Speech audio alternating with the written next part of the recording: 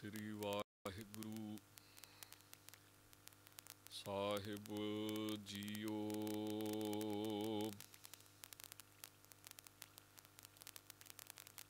ਕਿਰਪਾ ਕਰੋ ਦੀਨ ਕੇ ਦਾਤੇ।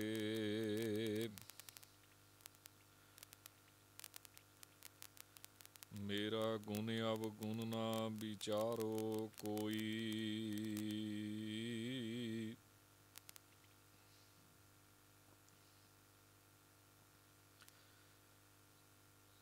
ਮਾਟੀ ਕਾ ਕਿਆ ਧੋਪੈ ਸੁਆਮੀ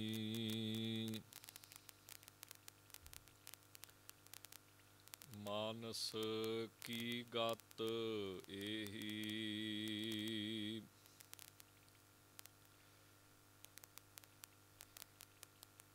ਵਿਸਰ ਨਾਹੀ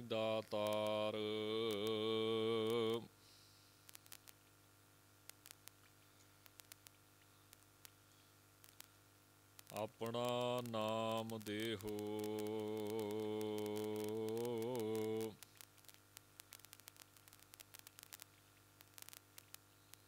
ਗੁਣ ਗਾਵਾਂ ਦਿਨ ਰਾਤ।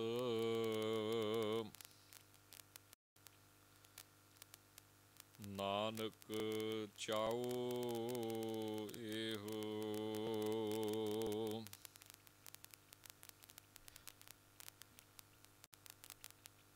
ਸਾ ਮਤ ਦੇਹੋ ਦਇਆਲ ਪ੍ਰਭ।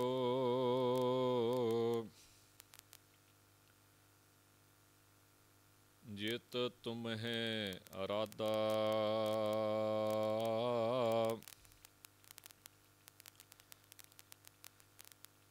ਨਾਨਕ ਮੰਗੈ ਦਾਨ ਪ੍ਰਭ। ਰੇਨ ਪਗ ਸਾਦਾ ਸਤਨਾਮ ਸ੍ਰੀ ਵਾਹਿਗੁਰੂ ਸਾਹਿਬ ਜੀਓ। ਨਿਰੁਕਤੰ ਪ੍ਰਭਾ ਹੈ। ਸदैवं ਸਦਾ ਹੈ। ਵਿਭੁਗਤ ਸਰੂਪ ਹੈ। ਪ੍ਰਯੁਗਤ ਅਨੂਪ ਹੈ। ਨਿਰੁਕਤੰ ਪ੍ਰਭਾ ਹੈ। ਸदैवं ਸਦਾ ਹੈ। ਚਬਰ ਛਤਰ ਤਖਤ ਦੇ ਮਾਲਕ। ਗੁਰਤਾ ਗੱਦੀ ਤੇ ਸੁਭਾਏਮਾਨ। ਸਾਹਿਬ ਸ੍ਰੀ ਗੁਰੂ ਗ੍ਰੰਥ ਸਾਹਿਬ ਜੀ ਮਹਾਰਾਜ। ਸਤਿਗੁਰਾਂ ਦੀ ਪਾਵਨ ਪਵਿੱਤਰ ਹਜ਼ੂਰੀ ਅੰਦਰ ਜੁੜ ਬੈਠੀ ਗੁਰੂ ਰੂਪ ਖਾਲਸਾ ਸਾਧ ਸੰਗਤ ਜੀਓ। ਆਓ ਬੜੇ ਪ੍ਰੇਮ ਦੇ ਨਾਲ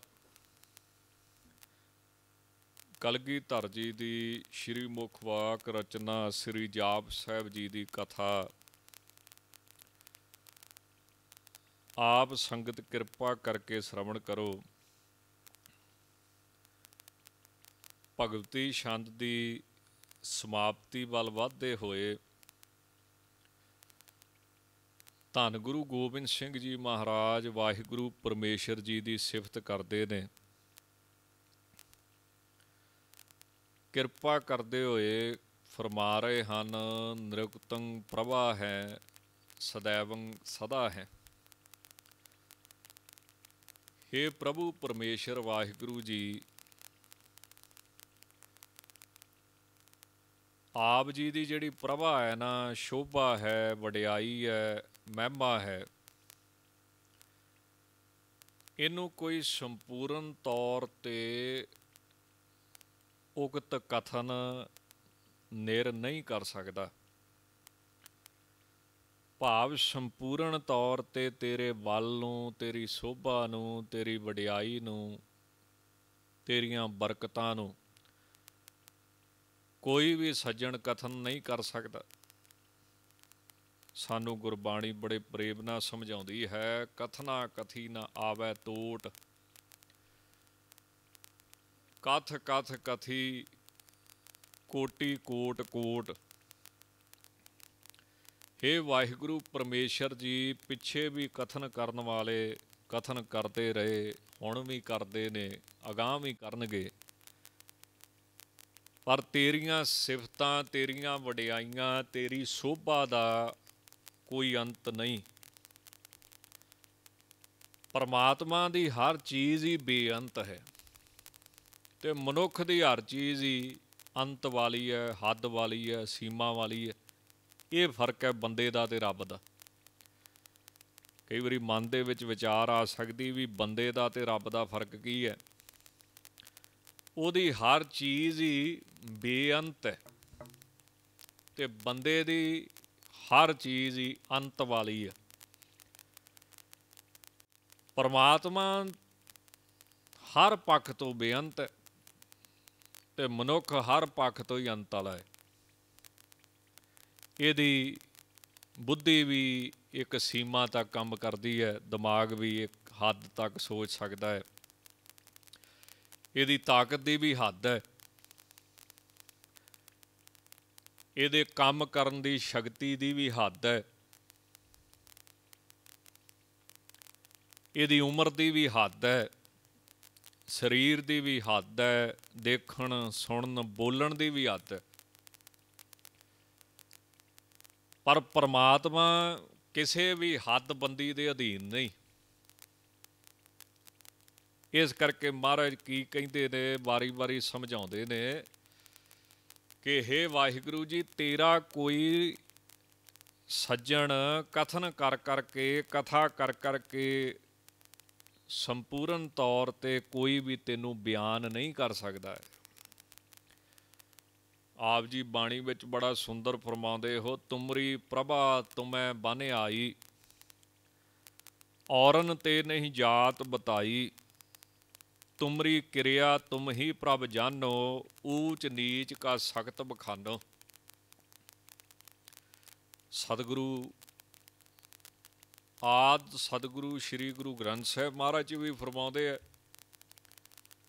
ਤੇ ਕਿਰਪਾ ਕਰਦੇ ਹੋਏ ਕਹਿੰਦੇ ਹਨ, ਹਰ ਕੀ ਗਤ ਨਹਿ ਕੋ ਜਾਣੈ, ਜੋਗੀ ਜਤੀ ਤਪੀ ਪਚ ਹਾਰੇ, ਅਰ ਬਹੁ ਲੋਗ ਸਿਆਨੇ ਛਿਨ ਮਹਿ ਰਾਓ ਰੰਕ ਕੋ ਕਰਈ, ਰਾਓ ਰੰਕ ਕਰ ਡਾਰੇ। ਰੀਤੇ ਭਰੇ ਭਰੇ ਸਖਨਾਵੇ ਯਹ ਤਾਕੋ ਵਿਵਹਾਰੇ ਪਰਮਾਤਮਾ ਇੱਕ ਖਿਣ ਦੇ ਵਿੱਚ ਹੀ ਪਤਾ ਨਹੀਂ ਉਹਨੇ ਕੀ ਕਰ ਦੇਣਾ ਹੈ।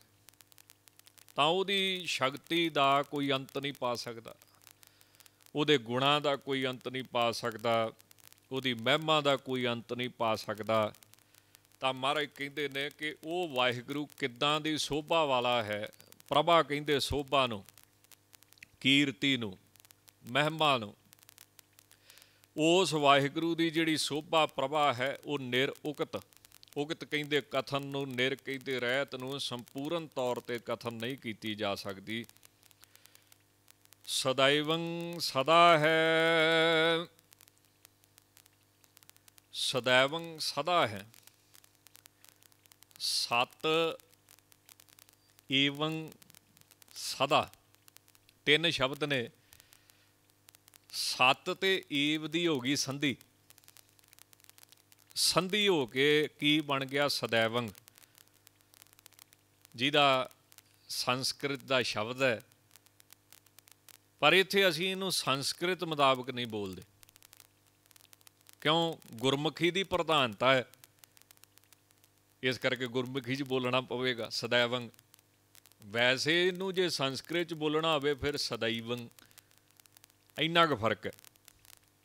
ਸਦੈਵ। ਗੁਰਮੁਖੀ ਦੀ ਪ੍ਰਧਾਨਤਾ ਹੈ ਸ਼ਬਦ ਭਾਵੇਂ ਫਾਰਸੀ ਦਾ ਹੋਵੇ, ਭਾਵੇਂ ਅਰਬੀ ਦਾ ਹੋਵੇ, ਭਾਵੇਂ ਕਿਸੇ ਦਾ ਵੀ ਹੋਵੇ, ਜਦੋਂ ਸਾਡੇ ਸਤਿਗੁਰਾਂ ਨੇ ਗੁਰਮੁਖੀ 'ਚ ਲਿਖਿਆ ਤੇ ਅਸੀਂ ਗੁਰਮੁਖੀ 'ਚ ਹੀ ਬੋਲਣਾ ਹੈ। ਪਰ ਨੌਲੇਜ ਵਾਸਤੇ ਸਤ ਜਮਾ ਏਵ। ਏਵ ਦਾ ਅਰਥ ਹੁੰਦਾ ਨਿਸ਼ਚੈ ਕਰਕੇ। ਏਵੰਗ, ਨਿਸ਼ਚੈ ਕਰਕੇ।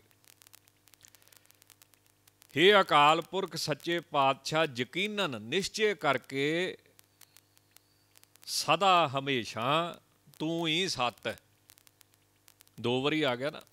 ਸਤ ਏਵੰਗ ਸਦਾ।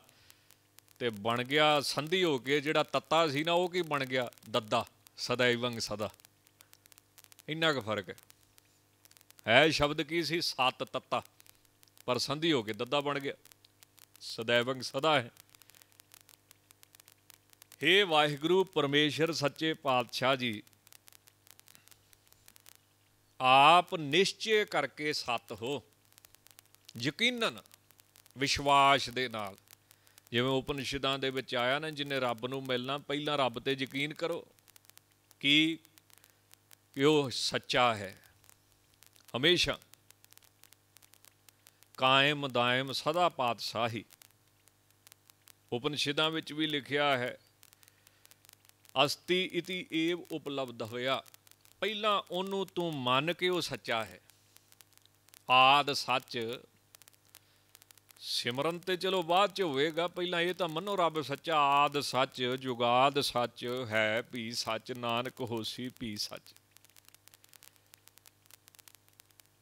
ਜਿਹੜੀ ਵਿੱਚ ਏਵ ਆ ਨਾ ਏਵ, ਉਹ ਬੜਾ ਵੱਡਾ ਮਾਇਨਾ ਰੱਖਦੀ ਆ। ਲਿਖਣ ਨੂੰ ਤੇ ਲਿਖ ਹੀ ਸਕਦੇ ਸੀ ਵੀ ਸਦਾ ਹੈ, ਇੰਨਾ ਹੀ ਬੜਾ ਸੀ ਸਦਾ ਹੈ। ਪਰ ਦੋ ਵਾਰੀ ਕਹਤਾ ਨਾ, ਸਤ ਏਵ ਸਦਾ। ਏਬ ਦਾ ਭਾਵ ਵੀ ਯਕੀਨ ਕਰ। ਨਹੀਂ ਤਾਂ ਸਿੱਧਾ ਹੀ ਲਿਖਦੇ, ਸਤ ਹੈ। ਜਾਂ ਕੱਲਾ ਲਿਖ ਦਿੰਦੇ, ਸਦਾ ਹੈ। ਏਵ ਦਾ ਅਰਥ ਕੀ ਹੋਇਆ ਵੀ ਯਕੀਨ ਕਰ। ਕਹੀ ਜਾਂਦੇ ਆ, ਰੱਬ ਹੈਗਾ, ਪਰ ਯਕੀਨ ਕਿਸੇ ਨੂੰ ਨਹੀਂ। ਰਾਮ ਰਾਮ ਕਰਤਾ, ਸਭ ਜਗ ਫਿਰ। RAM ਨਾ ਪਾਇਆ ਜਾਏ। ਜਾਂ ਲੋਗਨ ਰਾਮ ਖਿਲੌਣਾ ਜਾਨਾ। ਰੱਬ ਨੂੰ ਇੱਕ ਖੇਡ ਸਮਝਿਆ ਹੈ। ਨਾਲੇ ਮਾੜੇ ਕੰਮ ਵੀ ਕਰੀ ਜਾਓ ਤੇ ਨਾਲੇ ਰੱਬ ਨੂੰ ਵੀ ਮੰਨੀ ਜਾਓ। ਤਾਂ ਮਹਾਰਾਜ ਸੱਚੇ ਪਾਤਸ਼ਾਹ ਕਹਿੰਦੇ ਨੇ ਕਿ ਯਕੀਨ ਕਰ। ਗੁਰਬਾਣੀ ਥਾਂ ਥਾਂ ਆਪਾਂ ਨੂੰ ਸਮਝਾਉਂਦੀ ਹੈ ਨਾ ਵੀ ਸੱਦ ਸੁਣਦਾ, ਸੱਦ ਵੇਖਦਾ, ਕਿਉਂ ਮੁੱਕਰ ਪਿਆ ਜਾਏ। ਹੁਣ ਦੇਖੋ ਇਹ ਵੀ ਕਮਾਲ ਦੀ ਗੱਲ ਹੈ ਵੀ ਰੱਬ ਹਮੇਸ਼ਾ ਹੀ ਸੁਣਦਾ ਹੈ। ਲਗਾਤਾਰ ਤੈਨੂੰ ਸੁਣਦਾ ਹੈ, ਹਮੇਸ਼ਾ ਹੀ ਤੈਨੂੰ ਦੇਖਦਾ ਹੈ। ਤਾਂ ਉਹਨੂੰ ਕਹਿੰਦੇ ਸਦਾਇਵੰਗ ਸਦਾ ਹੈ। ਗੁਰਬਾਣੀ ਬੜਾ ਪ੍ਰੇਮ ਨਾਲ ਸਮਝਾਉਂਦੀ ਹੈ, ਸਦਾ ਸਦਾ ਸਦ ਹੋਵਣ ਹਾਰਾ, ਊਚਾ ਅਗਮ ਅਥਾਉ ਅਪਾਰਾ। हे ਪ੍ਰਭੂ ਜੀ, ਆਪ ਹਮੇਸ਼ਾ ਰਹਿਣ ਵਾਲੇ ਹੋ। ਸੰਸਾਰ ਜਿਹੜਾ ਹੈ ਉਹ ਖਤਮ ਹੋ ਜਾਵੇਗਾ। ਤਾਂ ਜਿਹੜੀ ਇੱਥੇ ਮੇਨ ਗੱਲ ਹੈ, ਉਹ ਵਿੱਚ ਹੈ ਸੰਧੀ। ਉਹ ਕਿਹੜੀ ਸੰਧੀ ਹੈ? ਏਵ। ਸੱਤ ਤੇ ਏਵ ਦੀ ਜਿਹੜੀ ਸੰਧੀ ਹੋਈ ਹੈ। ਏਵ ਮੈਨੇ ਯਕੀਨ ਕਰਕੇ ਪਰਮੇਸ਼ਰ ਹਮੇਸ਼ਾ ਰਹਿਣ ਵਾਲਾ ਹੈ ਤੇ ਪੰਜਵੇਂ ਪਾਤਸ਼ਾਹ ਵੀ ਬੜੇ ਪ੍ਰੇਮ ਦੇ ਨਾਲ ਫਰਮਾਉਂਦੇ ਆ। ਜਾ ਕੇ ਹਿਰਦੈ ਵਿਸ਼ਵਾਸ ਪ੍ਰਭ ਆਇਆ, ਤਤ ਗਿਆਨ ਤਿਸ ਮਨ ਪ੍ਰਗਟਾਇਆ। ਜਿਹਦੇ ਹਿਰਦੇ ਵਿੱਚ ਵਿਸ਼ਵਾਸ ਹੈ, ਰੱਬ ਉਹਨੂੰ ਮਿਲੇਗਾ। ਪਰਮੇਸ਼ਰ ਉਹਨੂੰ ਮਿਲੇਗਾ। ਤਾਂ ਮਹਾਰਾਜ ਫਰਮਾਉਂਦੇ ਹਨ ਬੇਭੁਗਤ ਸਰੂਪ ਹੈ। हे ਅਕਾਲ ਪੁਰਖ ਵਾਹਿਗੁਰੂ, ਸੱਚੇ ਪਾਤਸ਼ਾਹ ਜੀ। ਬੇਭੁਗਤ ਸਰੂਪ, ਬੇ ਹੈ ਉਪਸਰਗ, ਸ਼ਬਦ ਦੇ ਮੁੱਢ ਦੇ ਵਿੱਚ ਲੱਗਣ ਵਾਲਾ। ਵਿਸ਼ੇਸ਼ ਕਰਕੇ ਅਰਥ ਹੋਇਆ, ਨਿਸ਼ਚੈ ਕਰਕੇ ਜਾਂ ਰਹਿਤ, ਅਨੇਕਾਂ ਅਰਥ ਨੇ। ਜਿੱਥੇ ਵਿਸ਼ੇਸ਼ ਅਰਥ ਹੈ, ਉੱਥੇ ਰਹਿਤ ਵੀ ਅਰਥ ਹੈ। ਇਹ ਅਕਾਲ ਪੁਰਖ ਜੀ ਬੇ ਦਾ ਅਰਥ ਵਿਸ਼ੇਸ਼ ਕਰਕੇ, ਖਾਸ ਕਰਕੇ, ਤੇਰਾ ਸਰੂਪ ਹੀ ਸਭ ਕੁਝ ਭੋਗ ਰਿਹਾ ਹੈ। ਸਾਰੇ ਸਰੀਰਾਂ ਦੇ ਵਿੱਚ ਬੈਠਾ ਹੋਇਆ, ਕਿਉਂਕਿ ਸਭਨਾ ਵਿੱਚ ਆਪ ਵਿਆਪਕ ਹੋ।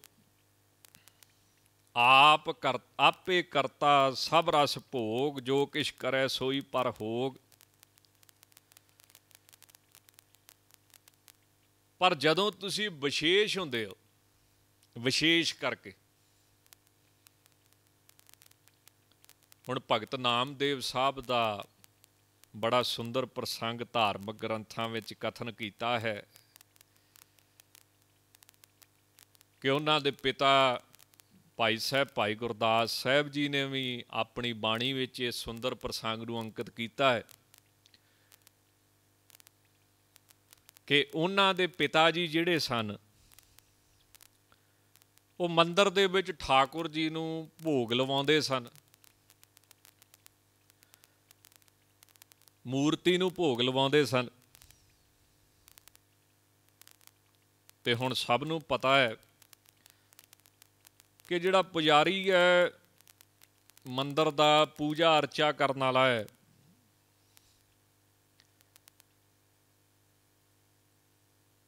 ਉਹ ਜਦੋਂ ਭੋਗ ਲਵਾਉਂਦਾ ਹੈ ਤੇ ਉਹ ਬਸ ਕਿਰਿਆ ਮਾਤਰ ਦੀ ਉਹਦੇ ਮੂੰਹ ਨੂੰ ਲਾ ਕੇ ਬਾਕੀ ਆਪ ਛਕ ਲੈਣਾ ਤੇ ਬਾਕੀ ਜਿਹੜੇ ਪ੍ਰੇਮੀ ਹੁੰਦੇ ਨੇ, ਉਹਨਾਂ ਨੂੰ ਛਕਾ ਦੇਣਾ। ਤਾਂ ਉਹ ਕਿਸੇ ਕੰਮ ਕਰਕੇ ਬਾਹਰ ਚਲੇ ਗਏ।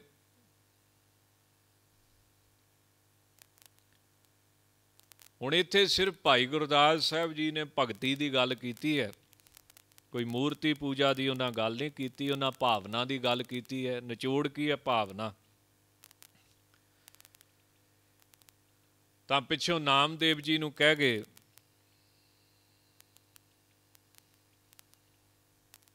ਕਿ ਤੁਸੀਂ ਠਾਕੁਰ ਜੀ ਨੂੰ ਭਗਵਾਨ ਨੂੰ ਭੋਗ ਲਵਾਓ ਤੇ ਭੋਗ ਲਵਾਉਣ ਤੋਂ ਬਾਅਦ ਛਕਣਾ, ਜਿਹੜੀ ਮਰਿਆਦਾ ਹੈ। ਹੁਣ ਨਾਮਦੇਵ ਜੀ ਬੱਚੇ ਸਨ, ਹਿਰਦੇ ਦੇ ਸਾਫ਼ ਸਨ। ਉਹਨਾਂ ਨੂੰ ਥੋੜੀ ਪਤਾ ਸੀ ਵੀ ਭੋਗ ਮੂਰਤੀ ਨੇ ਕੀ ਲਾਉਣਾ ਹੈ। ਭੋਗ ਤੇ ਭਾਵਨਾ ਨੇ ਲਾਉਣਾ ਹੈ, ਸ਼ਰਧਾ ਨਾਲ। ਭੋਗ ਲੱਗਦੇ ਹਨ। ਤਾਂ ਨਾਮਦੇਵ ਜੀ ਜਿਹੜੇ ਮਹਾਰਾਜ ਸਨ, ਉਹ ਮੂਰਤੀ ਅੱਗੇ ਦੁੱਧ ਰੱਖ ਕੇ ਬਹਿ ਗਏ।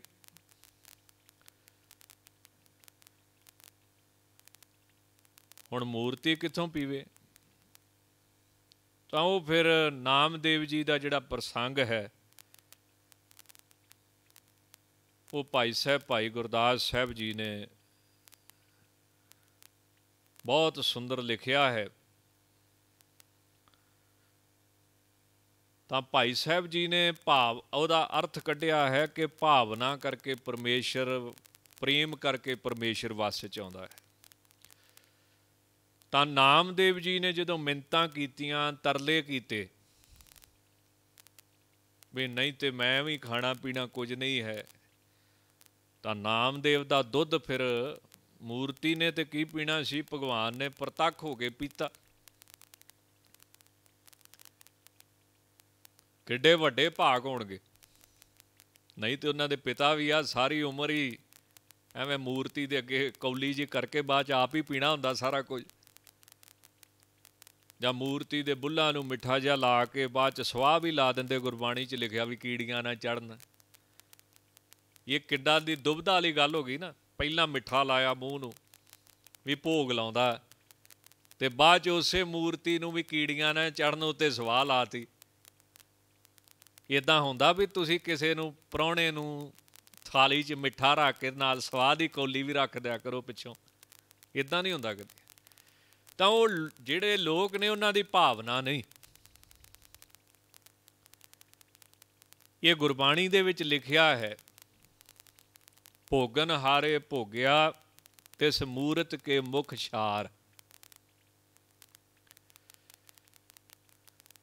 ਵਿਆਪਕ ਪਰਮੇਸ਼ਰ ਦੀ ਜਿੱਥੇ ਗੱਲ ਕੀਤੀ ਹੈ ਵੀ ਜਿਹੜਾ ਪਰਮੇਸ਼ਰ ਹਰ ਥਾਂ ਤੇ ਹਾਜ਼ਰ ਹੈ।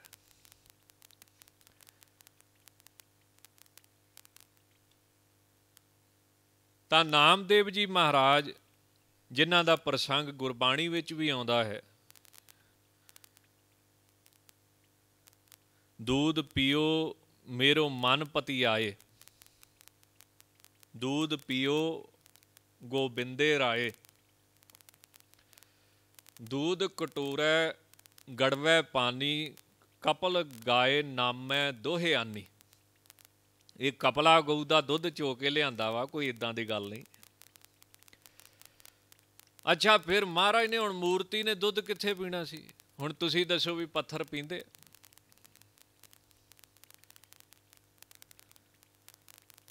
ਤਾਂ ਫਿਰ ਨਾਮਦੇਵ ਜੀ ਮਿੰਤਾਂ ਕਰਨ ਲੱਗ ਪਏ ਵੀ ਮਹਾਰਾਜ ਗੁੱਸੇ ਆਉਣਾ ਵਾ ਵੀ ਮੈਨੂੰ ਸੇਵਾ ਕਰਨੀ ਨਹੀਂ ਆਉਂਦੀ, ਤਾਂ ਉਹ ਕਹਿੰਦੇ, ਨਾ ਹੀ ਤਾਂ ਘਰ ਕੋ ਬਾਪ ਰਸਾਏ, ਬਾਪੂ ਆਣ ਕੇ ਕੁੱਟੂਗਾ, ਗੁੱਸੇ ਹੋਊਗਾ।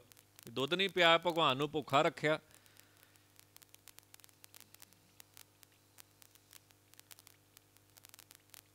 ਤਾਂ ਮਹਾਰਾਜ ਉਹਨਾਂ ਦੀ ਏਕ ਭਗਤ ਮੇਰੇ ਹਿਰਦੈ ਵਸੈ। ਭਾਵ ਅਰਥ ਕੀ ਆ ਕਿ ਇੱਕ ਭਗਤੀ ਸਾਡੇ ਹਿਰਦੇ 'ਚ ਵਸਦੀ ਭਾਵਨਾ? ਨਾਮੇ ਦੇਖ ਨਰਾਇਣ ਹੱਸੈ। ਇਹ ਗੁਰੂ ਗ੍ਰੰਥ ਸਾਹਿਬ 'ਚ ਲਿਖਿਆ ਵਾ ਵੀ ਉਹਨੇ ਦੁੱਧ ਪਿਆਇਆ ਵਾ। ਇਹ ਗੁਰੂ ਗ੍ਰੰਥ ਸਾਹਿਬ ਮਹਾਰਾਜ ਦੇ ਵਿੱਚ ਭਗਤ ਜੀ ਦੇ ਪ੍ਰਥਾਏ ਜੋ ਸ਼ਬਦ ਅੰਕਿਤ ਹੈ, ਦੂਧ ਪਿਆਏ ਭਗਤ ਕਰ ਗਿਆ ਨਾਮੇ ਕਾ ਹਰ ਦਰਸ਼ਨ ਪਿਆ ਨਾਮਦੇਵ ਜੀ ਨੂੰ ਪ੍ਰਤੱਖ ਵਾਹਿਗੁਰੂ ਦੇ ਭਗਵਾਨ ਦੇ ਸਾਖਸ਼ਾਤ ਸਰੂਪ ਦੇ ਦਰਸ਼ਨ ਹੋਏ। ਹੁਣ ਇਹਨੂੰ ਆਪਾਂ ਕਿਦਾਂ ਕਟਾਂਗੇ? ਹੁਣ ਕਹਿ ਕਹਿ ਤੇ ਦਿੰਦੇ ਵੀ ਗੁਰੂ ਗ੍ਰੰਥ ਸਾਹਿਬ ਦੇ ਵੀ ਕਿਹੜਾ ਮੂੰਹ ਲੱਗਾ ਵਾ ਜਿੱਧਰ ਦੀ ਉਹਨਾਂ ਕੜਾਹ ਖਾਣਾ ਤੁਹਾਡਾ। ਗੁਰੂ ਗ੍ਰੰਥ ਸਾਹਿਬ ਦੇ ਵੀ ਕਿਹੜਾ ਹੱਥ ਲੱਗੇ ਆ। ਠੀਕ ਹੈ ਸ਼ਬਦ ਸਰੂਪ ਹੈ। ਪਰ ਜਿਹੜਾ ਜੋਤ ਸਰੂਪ ਹੈ, ਸ਼ਬਦ ਸਰੂਪ ਹੈ, ਉਹ ਭਾਵਨਾ ਤੇ ਸਭ ਦੀ ਸਵੀਕਾਰ ਕਰਦਾ ਹੀ ਹੈ। ਫਿਰ ਇਹ ਕਿਉਂ ਲਿਖਤਾ ਵਾ ਵੀ ਰੱਬ ਹਰ ਥਾਂ ਤੇ ਵੇਖਦਾ, ਸਦ ਸੁਣਦਾ, ਸਦ ਵੇਖਦਾ। ਉਹਦਾ ਕਿਹੜਾ ਸਰੀਰ ਹੈ? ਫਿਰ ਸਾਡੇ ਸਰੀਰ ਵਰਗਾ। ਪਰ ਵੇਖਦਾ ਵੀ ਆ। ਕਾਦੇ ਨਾਲ ਵੇਖਦਾ ਫਿਰ? ਮੰਨ ਲਓ ਆਪਾਂ ਕਹਿੰਦੇ ਆਵਾ ਨਾ ਜੋਤ ਰੂਪ ਆ, ਫਿਰ ਇਹ ਵੀ ਤੇ ਲਿਖਿਆ ਨਾ, ਸਦ ਸੁਣਦਾ, ਸਦ ਵੇਖਦਾ। ਉਹ ਤੈਨੂੰ ਵੇਂਦਾ ਪਿਆ ਵਾ, ਉਹ ਸਭ ਸੁਣਦਾ ਪਿਆ ਜੋ ਮਰਜ਼ੀ ਲਕੋਲਾ।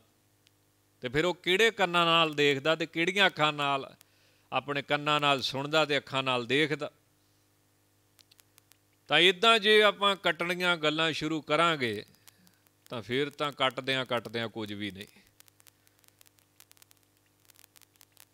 ਤਾਂ ਜਿੱਥੇ ਗੁਰਬਾਣੀ ਵਿੱਚ ਇਹ ਗੱਲ ਲਿਖੀ ਹੋਈ ਆ ਵੀ ਮੂਰਤੀ ਨਹੀਂ ਪੀਂਦੀ।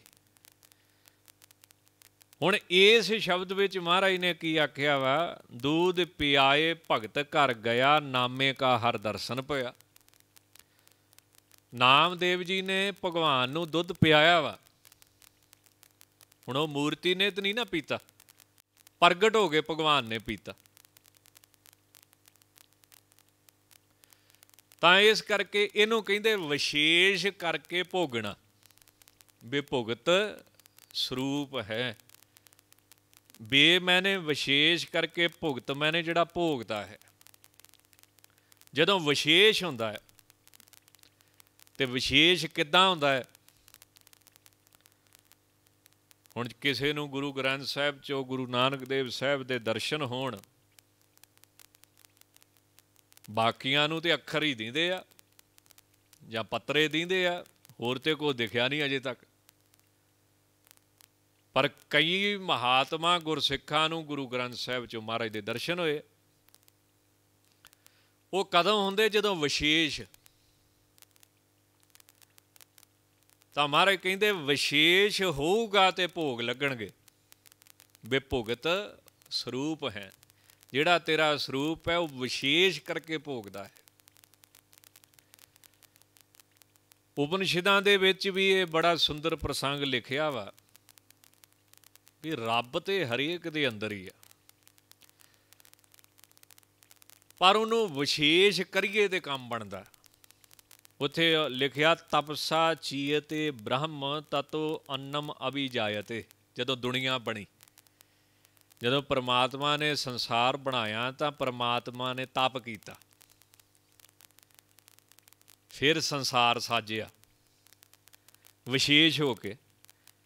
ਤਾਂ ਇਸੇ ਤਰ੍ਹਾਂ ਗੁਰਬਾਣੀ ਕਹਿੰਦੀ, ਸਭਨਾ ਉੱਪਰ ਨਦਰ ਪ੍ਰਭ ਤੇਰੀ, ਕਿਸੇ ਥੋੜੀ ਕਿਸੇ ਹੈ ਕਨੇਰੀ ਤੁਝ ਤੇ ਬਾਹਰ ਕਿਛ ਨਾ ਹੋਵੇ, ਗੁਰਮੁਖ ਸੋਝੀ ਪਾਵਣਿਆ।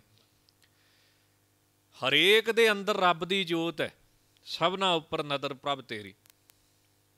ਕਿਸੇ ਥੋੜੀ ਕਿਸੇ ਹੈ ਕੰਢੇਰੀ ਹੁਣ ਜਿਵੇਂ ਅੱਗ ਹੁੰਦੀ ਨਾ, ਉਹਦੇ ਵਿੱਚ ਜੇ ਲੱਕੜਾਂ ਪਾਈਏ, ਸਿਆਣਪ ਦੇ ਨਾਲ ਤੇ ਜਿੰਨੀ ਮਰਜ਼ੀ ਵਧਾ ਲਈਏ। ਜਿਵੇਂ ਜਾਗ ਲਾ ਕੇ ਜਿੰਨਾ ਮਰਜ਼ੀ ਨਹੀਂ ਬਣਾ ਲਓ, ਤਾਂ ਉਹ ਇਸੇ ਤਰ੍ਹਾਂ ਹਰੇਕ ਅੰਦਰ ਪਰਮੇਸ਼ਰ ਬੈਠਾ ਹੈ, ਜਿਹੜੇ ਭਗਤੀ ਕਰਦੇ, ਫਿਰ ਉਹਨਾਂ ਦੇ ਅੰਦਰ ਉਹ ਵੱਧਦਾ ਹੈ। ਤਾਂ ਉਹ ਕਹਿੰਦੇ, ਤਪਸਾ ਚੀਏ ਤੇ ਬ੍ਰਹਮ। ਇਹਦੇ ਅਰਥ ਹੋਰ ਵੀ ਨੇ ਵੀ ਸੰਸਾਰ ਬਣਾਉਣ ਵੇਲੇ ਬ੍ਰਹਮ ਪਰਮੇਸ਼ਰ ਨੇ ਜੋ ਕੀਤਾ, ਭਾਵ ਜਿਹੜਾ ਵਾਹਿਗੁਰੂ ਸਾਡੇ ਸਰੀਰਾਂ ਦੇ ਵਿੱਚ ਬੈਠਾ ਹੈ, ਉਹ ਤਪ ਕਰਕੇ ਵਾਧਾ ਹੈ। ਇੱਥੇ ਤਪ ਦਾ ਅਰਥ ਕੀ? ਸੰਜਮ। ਦਸ ਇੰਦਰੀ ਕਰ ਰਾਖੈ ਵਾਸ। ਤਾਂ ਕਿ ਆਤਮੈ ਹੋਏ ਪ੍ਰਗਾਸ। ਅੱਖਾਂ ਨੂੰ ਮਾੜੇ ਪਾਸਿਓਂ ਰੋਕਣਾ, ਕੰਨਾਂ ਨੂੰ ਮਾੜੇ ਪਾਸਿਓਂ ਰੋਕਣਾ, ਹੱਥਾਂ ਨੂੰ ਮਾੜੇ ਪਾਸਿਓਂ ਰੋਕਣਾ। ਇਦਾਂ ਜਿਨੇ ਆਪਣਾ ਮਨ ਬਾਹਰ ਜਾਣ ਤੋਂ ਰੋਕ ਲਿਆ, ਉਹਦੇ ਹਿਰਦੇ 'ਚ ਪ੍ਰਕਾਸ਼ ਹੋਵੇਗਾ। ਹੁਣ ਕਈ ਸੱਜਣ ਕਹਿ ਦਿੰਦੇ ਵੀ, ਉਹ ਮਹਾਰਾਜ ਦੀ ਇੱਕ ਤੋਕ ਆਉਂਦੀ ਨਾ ਵੀ ਜੇ ਵੇਲਾ ਵਕਤ ਵਿਚਾਰੀਏ, ਤਾਂ ਕਿ ਵੇਲਾ ਭਗਤ ਹੋਏ। ਵੀ ਟਾਈਮ ਦੀ ਵਿਚਾਰ ਨਹੀਂ ਕਰਨੀ ਚਾਹੀਦੀ। ਉਹ ਤਾਂ ਠੀਕ ਹੈ, ਰੱਬ ਰੱਬ ਕਰਨਾ, ਸਾਰੀ ਦਿਹਾੜੀ ਕਰੀ ਜਾਓ, ਜਦੋਂ ਮਰਜ਼ੀ ਕਰੀ ਜਾਓ। ਪਰ ਅੰਮ੍ਰਿਤ ਵੇਲੇ ਦੀ ਮਹਾਨਤਾ ਮਹਾਰਾਜ ਨੇ ਮੰਨੀ ਬਾਣੀ ਦੇ ਵਿੱਚ। ਭਾਵੇਂ ਕਿ ਜਪਜੀ ਸਾਹਿਬ ਚ ਵੀ ਮਹਾਰਾਜ ਕਹਿੰਦੇ, ਅੰਮ੍ਰਿਤ ਵੇਲਾ ਸੱਚ ਨਾਉ, ਵਡਿਆਈ ਵਿਚਾਰ। ਜਾਂ ਇੱਕ ਤੁਸੀਂ ਸ਼ਬਦ ਸੁਣਿਆ ਉਹ ਨਾ ਪ੍ਰਸਿੱਧ ਵੀ ਜਿਹੜਾ ਬਬੀਹਾ ਵਾ ਉਹ ਬੋਲਦਾ ਤੇ ਸਾਰੀ ਦਿਹਾੜੀ ਰਹਿੰਦਾ ਹੈ ਪ੍ਰਯੋ ਪ੍ਰਯੋ ਕਰਦਾ ਹੈ ਪਰ ਉਹਦੀ ਪੁਕਾਰ ਕਿਹੜੇ ਟਾਈਮ ਸੁਣੀ ਗਈ? ਇਹ ਗੱਲ ਨੋਟ ਕਰਨ ਵਾਲੀ ਹੈ ਬਬੀਹਾ ਅੰਮ੍ਰਿਤ ਵੇਲੇ ਬੋਲਿਆ, ਤਾਂ ਦਰ ਸੁਣੀ ਪੁਕਾਰ ਬੋਲਦਾ ਤੇ ਉਹ ਸ਼ਾਮ ਨੂੰ ਵੀ ਹੈ ਬੋਲਦਾ ਤੇ ਉਹ ਦੁਪਹਿਰੇ ਵੀ ਆ, ਬੋਲਦਾ ਉਹ ਰਾਤ ਨੂੰ ਵੀ ਪਰ ਜਦ ਅੰਮ੍ਰਿਤ ਵੇਲੇ ਬੋਲਿਆ, ਫੇਰ ਸੁਣੀ ਗਈ। ਫਿਰ ਕੀ ਹੋਇਆ? ਰੱਬ ਦਾ ਹੁਕਮ ਹੋਇਆ ਵੀ ਮੀਂਹ ਪਵੇ। ਮੇਘੇ ਨੂੰ ਫਰਮਾਨ ਹੋਆ, ਵਰਸੋ ਕਿਰਪਾ ਧਾਰ। ਹੁਣ ਇੱਥੇ ਜਿਹੜੀ ਗੱਲ ਨੋਟ ਕਰਨ ਵਾਲੀ, ਉਹ ਪਤਾ ਕੀ ਆ? ਵੀ ਬੋਲਦਾ ਤੇ ਉਹ ਦੁਪਹਿਰੇ ਵੀ ਆ। ਬੋਲਦਾ ਉਹ ਰਾਤ ਨੂੰ ਵੀ ਆ ਤਕਾਲਾਂ ਨੂੰ ਵੀ ਆ। ਹੁਣ ਇਸੇ ਤਰ੍ਹਾਂ ਪਹਿਲੇ ਪਹਿਰੇ ਇੱਕ ਹੋਰ ਸ਼ਬਦ ਚਲੋ, ਜੇ ਕਿਸੇ ਮਨ 'ਚ ਸ਼ੰਕਾ ਰਹਿ ਜੇ, ਇਹ ਕਿਸ ਤਰ੍ਹਾਂ? ਕਿਰਪਾ ਜਿਹੜੀ ਉਹ ਅੰਮ੍ਰਿਤ ਵੇਲੇ ਹੀ ਹੁੰਦੀ ਆ। ਜੇ ਕੋਈ ਕਵੇ ਵੀ ਇਹ ਕਿਸ ਤਰ੍ਹਾਂ, ਇੱਕ ਹੋਰ ਸ਼ਬਦ ਵੀ ਹੈ ਵੀ ਪਹਿਲੇ ਪਹਿਰੇ ਫੁੱਲੜਾ, ਫਲ ਪੀ ਪਛਾ ਰਾਤ। ਪਹਿਲੇ ਪੈਰ ਤੇ ਫੁੱਲ ਹੀ ਪੈਂਦੇ ਨੇ, ਫਲ ਪਿਛਲੇ ਪੈਰ ਅੰਮ੍ਰਿਤ ਵੇਲੇ ਪੈਂਦਾ ਹੈ। ਹੁਣ ਇਹਦੇ ਪਰਥਾਏ ਸਤਿਗੁਰੂ ਜੀ ਦਾ ਵੀ ਸ਼ਬਦ ਹੈ, ਸਤਿਗੁਰੂ ਧੰਨ ਗੁਰੂ ਨਾਨਕ ਦੇਵ ਸਾਹਿਬ। ਉਹ ਕੀ? ਸਬਾਹੀ ਸਾਲਾਹ ਜਿੰਨੀ ਧਿਆਇਆ ਇੱਕ ਮਨ। ਸੇ ਪੂਰੇ ਸਾਹ ਵਗਤੇ ਉੱਪਰ ਲੜ ਬੂਏ। ਸਬਾਹੀ ਸੁਬਾ ਅੰਮ੍ਰਿਤ ਵੇਲੇ। ਜਿਨਨੇ ਸਿਫਤ ਸਲਾਹ ਕੀਤੀ, ਇੱਕ ਮਨ ਹੋ ਕੇ ਉਹ ਪੂਰਾ ਪਾਤਸ਼ਾਹ ਹੈ ਮਹਾਤਮਾ। ਤੇ ਜਿਹੜਾ ਅੰਮ੍ਰਿਤ ਵੇਲੇ ਉੱਠਣਾ ਹੈ, ਆਪਣੇ ਮਨ ਦੇ ਨਾਲ ਲੜਨਾ ਹੈ, ਇਹੀ ਉਹਨਾਂ ਦੀ ਕੁਰਬਾਨੀ ਹੈ, ਲੜਾਈ ਹੈ, ਜਿਹੜੀ ਮਨ ਦੇ ਨਾਲ ਚੱਲਦੀ ਰਹਿੰਦੀ ਹੈ। ਆਲਸ ਨੂੰ ਜਿੱਤਣਾ। ਦੂਸਰੀ ਪੰਕਤੀ ਵਿੱਚ ਮਹਾਰਾਜ ਕਹਿੰਦੇ ਨੇ, ਦੂਜੇ ਬਹੁਤੇ ਰਾਹ ਮਨ ਕੀਆਂ ਮੱਤੀ ਖਿੰਡੀਆਂ। ਹੁਣ ਇੱਥੇ ਮਹਾਰਾਜ ਨੇ ਚਾਰ ਪੈਰ ਗਿਣੇ। ਪਹਿਲੇ ਪੈਰ ਚਾਹ ਹੁੰਦਾ, ਦੂਜੇ ਪੈਰ ਚਾਹ ਹੁੰਦਾ। ਮਹਾਰਾਜ ਕਹਿੰਦੇ, ਦੂਜੇ ਪੈਰ 'ਚ ਤੇ ਮਨ ਜਿਹੜਾ ਉਹ ਖਿੱਲਰ ਜਾਂਦਾ ਸੰਸਾਰ ਦੇ ਵਿੱਚ, ਖਿਆਲਾਂ 'ਚ, ਵਾਸ਼ਨਾਵਾਂ 'ਚ ਆਹ ਕਰ ਲਈਏ, ਉਹ ਕਰ ਲਈਏ, ਜਿਹੜੀ ਅੰਮ੍ਰਿਤ ਵੇਲੇ ਇੱਕ ਮਨ ਬੰਦਗੀ ਹੁੰਦੀ ਹੈ, ਉਹ ਬਾਅਦ ਦੇ ਪੈਰਾਂ 'ਚ ਨਹੀਂ ਹੁੰਦੀ। ਇਦਾਂ ਅੱਡ-ਅੱਡ ਪੈਰਾਂ ਦੀ ਮਹਾਰਾਜ ਨੇ ਵਿਆਖਿਆ ਕੀਤੀ ਹੈ। ਪਹਿਲਾ ਪੈਰ, ਦੂਜਾ ਪੈਰ, ਤੀਜਾ ਪੈਰ, ਚੌਥਾ ਪੈਰ। ਭਾਈ ਸਾਹਿਬ, ਭਾਈ ਗੁਰਦਾਸ ਸਾਹਿਬ ਜੀ ਨੇ ਵੀ ਆਪਣੀ ਬਾਣੀ ਦੇ ਵਿੱਚ ਇਸ ਬਾਰੇ ਬੜਾ ਸੁੰਦਰ ਲਿਖਿਆ ਹੈ ਵੀ ਜਿਹੜਾ ਸੂਰਮਾ ਹੈ ਉਹ ਲੜ ਕੇ ਸ਼ਹੀਦ ਹੁੰਦਾ ਹੈ। ਤੇ ਸ਼ਹੀਦ ਦਾ ਕਿੱਡਾ ਵੱਡਾ ਨਾਂ? ਸ਼ਹੀਦ ਦੀ ਕਿੱਡੀ ਵੱਡੀ ਕੁਰਬਾਨੀ ਮੰਨੀ ਜਾਂਦੀ ਹੈ। ਕਿਸੇ ਸ਼ਾਇਰ ਦੇ ਇਹ ਕੌਲ, ਅੱਜ ਵੀ ਢਾਡੀ ਸਿੰਘ ਬੜੇ ਪ੍ਰੇਮ ਦੇ ਨਾਲ ਸ਼ਹੀਦਾਂ ਦੇ ਪ੍ਰਸੰਗ 'ਚ ਸੁਣਾਉਂਦੇ ਨੇ। ਭਾਵੇਂ ਕਿ ਗੁਰਮਤ ਦੇ ਸ਼ਹੀਦ ਤੇ ਦੁਨਿਆਵੀ ਸ਼ਹੀਦਾਂ 'ਚ ਜਿਵੇਂ ਅਸਮਾਨ ਦਾ ਫ਼ਰਕ ਹੈ। ਬਾਹਰਲੇ ਸ਼ਹੀਦ ਤੇ ਧਰਮ ਦੇ ਸ਼ਹੀਦਾਂ ਦਾ ਬਹੁਤ ਫ਼ਰਕ ਹੈ। ਇੱਕ ਬਰਾਬਰ ਨਹੀਂ ਹੁੰਦੇ। ਤਾਂ ਭਾਈ ਸਾਹਿਬ ਨੇ ਇੱਕ ਸੂਰਮਾ ਜਿਹੜਾ ਸ਼ਹੀਦ ਹੁੰਦਾ ਹੈ, ਆਪਣੇ ਮਾਲਕ ਦਾ ਲੂਣ ਖਾ ਕੇ ਉਹਨੂੰ ਹਰਾਮ ਨਹੀਂ ਕਰਦਾ, ਨਿਮਕ ਹਲਾਲ ਰਹਿੰਦਾ ਹੈ। ਉਹਦੀ ਬੜੀ ਸਿਫਤ ਲਿਖੀ ਹੈ। ਆਪ ਜੀ ਲਿਖਦੇ ਨੇ ਬੜੇ ਪ੍ਰੇਮ ਦੇ ਨਾਲ, ਲੂਣ ਸਾਹਿਬ ਦਾ ਖਾਏ ਕੈ ਰਣ ਅੰਦਰ ਲੜ ਮਰੈ ਸੋ ਜਾਪੈ। ਸਿਰ ਵੱਡੇ ਹਥਿਆਰ ਕਰ ਵਰਿਆਮਾ ਵਰਿਆਮ ਸਿਆਪੈ। ਫਿਰ ਕੀ ਹੁੰਦਾ, ਤਿਸ ਪਿੱਛੇ ਜੋ ਇਸਤਰੀ ਥਪ ਥਈ ਦੇ ਵਰੇ ਸਰਾਪੇ, ਪੋਤੇ ਪੁੱਤ ਵਡੀਰੀਆਂ ਪਰਵਾਰੇ ਸਾਧਾਰ ਪ੍ਰਾਪੇ। ਇਸੇ ਤਰ੍ਹਾਂ ਇੱਕ ਧਰਮ ਦੇ ਸ਼ਹੀਦ ਨੇ। ਉਹ ਕਿਹੜੇ ਨੇ? ਵਖਤ ਹੈ ਉੱਪਰ ਲੜ ਮਰੇ, ਅੰਮ੍ਰਿਤ ਵੇਲੇ ਸ਼ਬਦ ਲਾਪੇ।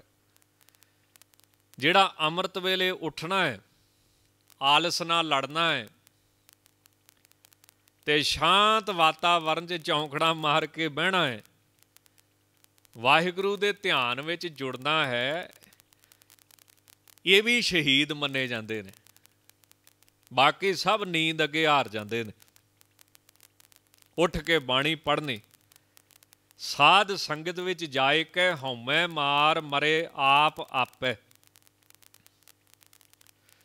ਲੜ ਮਰਨਾ ਤੇ ਸਤੀ ਹੋਣ ਗੁਰਮੁਖ ਪੰਥ ਪੂਰਨ ਪ੍ਰਤਾਪੈ। ਸੱਚ ਸਿਦਕ ਸੱਚ ਪੀਰ ਪਛਾਪੈ। ਦੁਨਿਆਵੀ ਬੰਦੇ ਨੇ ਆਪਣੇ ਮਾਲਕ ਵਾਸਤੇ ਲੜਨਾ ਬਹੁਤ ਚੰਗਾ ਹੈ। ਮਰ ਜਾਣਾ ਬਹੁਤ ਵੱਡੀ ਗੱਲ ਹੈ। ਪਤੀ ਪਿੱਛੇ ਸਤੀ ਹੋਣਾ ਬੜਾ ਲੋਕ ਸਤਿਕਾਰ ਨਾਲ ਦੇਖਦੇ ਨੇ, ਪਰ ਗੁਰਮਤ ਦੀਆਂ ਸਤੀਆਂ ਹੋਰ ਨੇ। ਇਸੇ ਤਰ੍ਹਾਂ ਜਿਹੜੇ ਨਾਮ ਜਪਣ ਵਾਲੇ ਗੁਰਸਿੱਖ ਨੇ, ਉਹਨਾਂ ਦਾ ਵੀ ਬੜਾ ਵੱਡਾ ਪ੍ਰਤਾਪ ਹੁੰਦਾ ਹੈ। ਜਿਵੇਂ ਕੋਈ ਸ਼ਹੀਦ ਹੋ ਜੇ, ਸ਼ਹੀਦ ਕੀ ਜੋ ਮੌਤ ਹੈ, ਉਹ ਕੌਮ ਕੀ ਹਿਆਤ ਹੈ। ਪਰ ਜਿਹੜਾ ਨਾਮ ਜਪਣਾ ਹੈ, ਅੰਮ੍ਰਿਤ ਵੇਲੇ ਉੱਠ ਕੇ ਇਹਦੇ ਬਾਰੇ ਮਹਾਰਾਜ ਕੀ ਕਹਿੰਦੇ ਹਨ? ਜਾ ਕੋ ਹਰ ਰੰਗ ਲਾਗੋ ਇਸ ਯੁਗ ਮਹਿ, ਸੋ ਕਹੀਤ ਹੈ ਸੂਰਾ। ਆਤਮ ਜਿਣੈ ਸਗਲ ਵਸ ਤਾਕੈ, ਜਾ ਕਾ ਸਤਗੁਰ ਪੂਰਾ। ਹੁਣ ਸ਼ਹੀਦਾਂ ਦਾ ਕਿੱਡਾ ਨਾਂ ਹੈ। ਪਰ ਜਿਹੜਾ ਨਾਮ ਜਪ ਕੇ ਮਨ ਦੇ, ਮਨ ਨੂੰ ਜਿੱਤਦਾ ਹੈ, ਉਹਦਾ ਨਾਮ ਉਹਨਾਂ ਤੋਂ ਵੀ ਵੱਡਾ ਹੈ। ਕਿੰਨਾ ਚਿਰ ਰਹਿੰਦਾ ਹੈ? ਮਹਾਰਾਜ ਕਹਿੰਦੇ, ਨਾਮ ਰਹਿਓ, ਸਾਧੂ ਰਹਿਓ ਰਹਿਓ ਗੁਰ ਗੋਬਿੰਦ। ਕਹੋ ਨਾਨਕ ਇਹ ਜਗਤ ਮੈਂ ਕਿਨ ਜਪਿਓ ਗੁਰਮੰਤ ਭਗਤ ਕਬੀਰ ਸਾਹਿਬ ਦਾ ਨਾਮ, ਤਾਂ ਭਗਤ ਕਬੀਰ ਸਾਹਿਬ ਵੀ ਸੂਰਮੇ ਆ ਨਾ, ਜਿਨ੍ਹਾਂ ਨੇ ਆਪਣੇ ਮਨ ਨੂੰ ਮਾਰਿਆ ਹੈ। ਤੇ ਵਾਹਿਗੁਰੂ ਪਰਮੇਸ਼ਰ ਦੀ ਪ੍ਰਾਪਤੀ ਕੀਤੀ ਹੈ। ਤਾਂ ਜਿਵੇਂ ਹੁਣ ਆਪਣੇ ਰਹਿਤਨਾਮਿਆਂ ਵਿੱਚ ਵੀ ਆਉਂਦਾ ਹੈ ਵੀ ਖਾਲਸਾ ਸੋ ਜੋ ਚੜ੍ਹੇ ਤਰੰਗ। ਵੀ ਖਾਲਸਾ ਉਹ ਹੈ ਜਿਹੜਾ ਰੋਜ਼ ਘੋੜੇ ਦੀ ਸਵਾਰੀ ਕਰੇ। ਹੁਣ ਤਾਂ ਘੋੜਿਆਂ ਵਾਲੀ ਬਹੁਤੀ ਗੱਲ ਕੋਈ ਦਲ ਪੰਥਾਂ 'ਚ ਹੀ ਆ ਸਿੰਘਾਂ 'ਚ ਹੀ ਆ ਪੁਰਾਣਿਆਂ 'ਚ। ਬਾਕੀ ਤੇ ਕੋਈ ਮੋਟਰਸਾਈਕਲ ਤੇ, ਕੋਈ ਮਰਸੀਡੀਜ਼ ਤੇ ਤੇ ਕੋਈ ਸਾਈਕਲ ਤੇ। ਘੋੜਿਆਂ ਵਾਲੀ ਗੱਲ ਤੇ ਕੋਈ ਜਾਪਦੀ ਨਹੀਂ ਹੁਣ। ਤਾਂ ਫਿਰ ਬਾਕੀ ਕੀ ਕਰਨ? ਜਾਂ ਖਾਲਸਾ ਸੋ ਜੋ ਨਿਤ ਕਰੇ ਜੰਗ। ਖਾਲਸਾ ਉਹ ਹੈ ਜਿਹੜਾ ਨਿਤ ਲੜੇ। ਹੁਣ ਇਹਦਾ ਅਰਥ ਇਹ ਥੋੜੀ ਹੈ ਵੀ ਜੇ ਕੋਈ ਲੜ ਨੂੰ ਹੈ ਨਹੀਂ ਤੇ ਨਾਲ ਦੇ ਗਵਾਂਢੀ ਨੂੰ ਰੋਜ਼ ਗਲੋਂ ਫੜ ਲੈ ਜਾ ਕੇ। ਤੇ ਜਿਹੜਾ ਗਲੀ 'ਚ ਲੰਘਦਾ ਹੋਵੇ ਉਹਨੂੰ ਕਵੇ ਵੀ ਨਹੀਂ ਲੜ ਕੇ ਲੰਘ ਮੇਰੇ ਨਾਲ।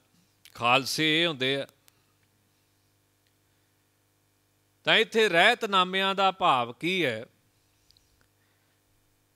ਜਿਹੜਾ ਘੋੜੇ ਤੇ ਚੜਨਾ ਨਾ ਨਿਤ, ਇਹਦਾ ਅੰਤਰੀਵ ਅਰਥ ਇਹ ਹੁੰਦਾ ਵੀ ਜਿਹੜਾ ਆਪਣੇ ਵਿਚਾਰਾਂ ਨੂੰ ਕਾਬੂ ਵਿੱਚ ਕਰਨਾ। ਇਹਦਾ ਜਵਾਬ ਵੀ ਮਹਾਰਾਜ ਨੇ ਸ੍ਰੀਮਾਨ ਭਗਤ ਕਬੀਰ ਸਾਹਿਬ ਨੇ ਦਿੱਤਾ ਹੈ, ਆਪਣੇ ਵਿਚਾਰ ਸਵਾਰੀ ਕੀਜੈ। ਇਸ ਤਰ੍ਹਾਂ ਪੰਕਤੀ ਹੁੰਦੀ ਵੀ ਸਹਿਜ ਕੇ ਪਾਵੜੇ ਪੱਗ ਧਰ ਲੀਜੇ। ਜਦੋਂ ਭਜਨ ਬੰਦਗੀ ਕਰਦੇ ਆ, ਕਿੰਨੇ ਵਿਚਾਰ ਉੱਠਦੇ ਆ। ਹੁੰਦਾ ਕੁਝ ਨਹੀਂ ਆ 90% ਫਜ਼ੂਲ ਵਿਚਾਰ। ਤੇ ਕਿਸੇ ਮਹਾਤਮਾ ਨੂੰ ਪੁੱਛਿਆ ਸੀ ਵੀ ਇਹ ਵਿਚਾਰ ਕਿਦਾਂ ਰੁਕਦੇ ਆ, ਸਿਮਰਨ ਕਰਦੇ ਆ। ਤਾਂ ਉਹਨਾਂ ਨੇ ਤਰੀਕੇ ਤੇ ਕਾਫੀ ਦੱਸੇ ਸੀ, ਪਰ ਉਹ ਤਰੀਕੇ ਹੁਣ ਗੁਰਮਤ ਦੇ ਹੋਰ ਨੇ, ਕਿਉਂਕਿ ਗੁਰਮਤ ਸ਼੍ਰੋਮਣੀ ਹੈ। ਵੈਸੇ ਤਾਂ ਇੱਕ ਤਰੀਕਾ ਯੋਗ ਦਾ ਵੀ ਹੁੰਦਾ ਹੈ, ਵੀ ਭਜਨ ਬੰਦਗੀ ਜਦੋਂ ਨਹਾ ਧੋ ਕੇ ਚੌਂਕੜਾ ਮਾਰ ਕੇ ਬੈਠੇ, ਤਾਂ ਮੱਥੇ ਦੇ ਵਿੱਚ ਆਪਣੇ ਕੀ ਸਵਾਸ ਖਿੱਚੇ ਤੇ ਉਹਨਾਂ ਨੂੰ ਬਾਹਰ ਹਵਾ ਨੂੰ ਕੱਢੇ। ਹਵਾ ਨੂੰ ਅੰਦਰ ਖਿੱਚੇ ਤੇ ਬਾਹਰ ਕੱਢੇ, ਨੱਕ ਥਾਣੀ ਜਾਂ ਮੂੰਹ ਥਾਣੀ, ਜਿੱਦਾਂ ਵੀ ਸੌਖਾ ਹੋਵੇ, ਕਰੀ ਜਾਵੇ। 5 7 10 ਵਾਰੀ ਕਰੇ। ਕਿਉਂ? ਵਿਚਾਰ ਚੱਲਦੇ ਨੇ ਹਵਾ ਤੇ, ਸਵਾਸਾਂ ਤੇ। ਤਾਂ ਸਾਹ ਭਰਨਾ ਤੇ ਕੱਢਣਾ। ਇਦਾਂ ਵੀ ਸਿਮਰਨ ਕਰਨ ਤੋਂ ਪਹਿਲਾਂ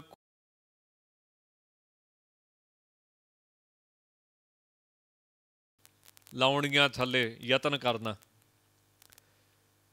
ਪਰ ਜਿਹੜਾ ਗੁਰਮਤ ਦਾ ਤਰੀਕਾ, ਉਹ ਤਾਂ ਫਿਰ ਬਹੁਤ ਵਧੀਆ ਸ਼੍ਰੋਮਣੀ ਤਰੀਕਾ ਹੈ ਵੀ ਜਦੋਂ ਵਿਚਾਰ ਦੁਖੀ ਕਰਨ ਤਾਂ ਵਾਚਕ ਜਾਪ ਕਰੇ, ਉੱਚੀ ਜਾਪ ਕਰੇ। ਕਿਸੇ ਨੂੰ ਨੀਂਦ ਆਉਂਦੀ ਹੋਵੇ, ਗ੍ਰੰਥੀ ਸਿੰਘ ਅਖੰਡ ਪਾਠ ਸਾਹਿਬ ਕਰਦੇ ਹਨਾ ਜਿਹੜੇ ਸਿਆਣੇ ਗ੍ਰੰਥੀ ਆ, ਰਾਤ ਆ ਜਿਹੜੀ 10 ਤੋਂ 12 12 ਤੋਂ 2 ਡਿਊਟੀ ਆ, ਇਹਦਾ ਕੰਨਾਂ ਨੂੰ ਹੱਥ ਲਾਉਣ ਵਾਲੀ ਗੱਲ ਹੁੰਦੀ, ਉਧਰੋਂ ਨੀਂਦ ਦਾ ਟਾਈਮ ਉਧਰੋਂ ਪਾਠ ਦੀ ਡਿਊਟੀ, ਉਧਰੋਂ ਸ਼ੁਕ, ਆਪਣੇ ਰੱਜ ਕੇ ਲੰਗਰ ਦੀ ਸੇਵਾ ਕੀਤੀ। ਕੋਈ ਕਸਰ ਛੱਡੀ ਨਹੀਂ ਹੁੰਦੀ ਰੋਟੀਆਂ ਖਾਣ ਵਾਲੀ। ਫਿਰ ਉਹ ਰੋਟੀਆਂ ਦਾ ਨਸ਼ਾ ਰੋਕਣ ਨੂੰ ਕਈਆਂ ਨੇ ਜੱਗ ਚਾਹ ਦਾ ਪੀਤਾ ਹੁੰਦਾ, ਪਰ ਤਾਂ ਵੀ ਗੱਲ ਬਣਦੀ ਨਹੀਂ। ਭਾਵੇਂ ਕਿ ਇਹ ਚਾਹ ਨਾਲ ਮਨ ਜੇ ਕਾਬੂ ਆਉਣ ਲੱਗੇ ਤੇ ਫਿਰ ਤੇ ਸਾਰੀ ਦੁਨੀਆ ਹੀ ਬ੍ਰਹਮ ਗਿਆਨੀ ਹੋ ਜਾਂਦੀ, ਚਾਹਾਂ ਪੀ ਕੇ ਪਾਠ ਕਰਿਆ ਕਰੋ। ਤਾਂ ਉਹ ਸਿਆਣੇ ਪਾਠੀ ਕੀ ਕਰਦੇ? ਵਾਚਕ ਜਾਪ ਕਰਦੇ। ਜਦੋਂ ਨੀਂਦ ਆਵੇ ਜਾਂ ਮਨ ਇਕਾਗਰ ਨਾ ਹੋਵੇ, ਫਿਰ ਬੋਲ ਕੇ ਪਾਠ ਕਰਨਾ ਚਾਹੀਦਾ ਹੈ। ਉਹਦੀ ਮਹਾਨਤਾ ਜਿਆਦੀ ਮੰਨੀ ਹੈ। ਮਨ ਨੂੰ ਰੋਕਣ ਵਾਸਤੇ ਜਿਆਦੀ ਮੰਨੀ ਹੈ। ਇੰਦਰੀਆਂ ਦਾ ਦਮਨ ਕਰਨ ਵਾਸਤੇ ਜਿਆਦੀ ਮੰਨੀ ਹੈ। ਤਾਂ ਇਸ ਤਰ੍ਹਾਂ ਕਬੀਰ ਸਾਹਿਬ ਕਹਿੰਦੇ ਵੀ ਘੋੜੇ ਤੇ ਚੜਨਾ ਕੀ ਹੈ? ਜਿਹੜਾ ਆਪਣੇ ਵਿਚਾਰਾਂ ਨੂੰ ਦੇਖਦੇ ਰਹਿਣਾ ਵੀ ਇਹ ਵਿਚਾਰ ਮੈਨੂੰ ਫਜ਼ੂਲ ਉੱਠਦੇ ਆ। ਸਿਮਰਨ ਕਰਦਿਆਂ ਉਹਨਾਂ ਤੋਂ ਬਚਣਾ ਤੇ ਉਹਨਾਂ ਨੂੰ ਰੋਕਣਾ। ਆਪਣੇ ਵਿਚਾਰ ਸਵਾਰੀ ਕੀਜੈ।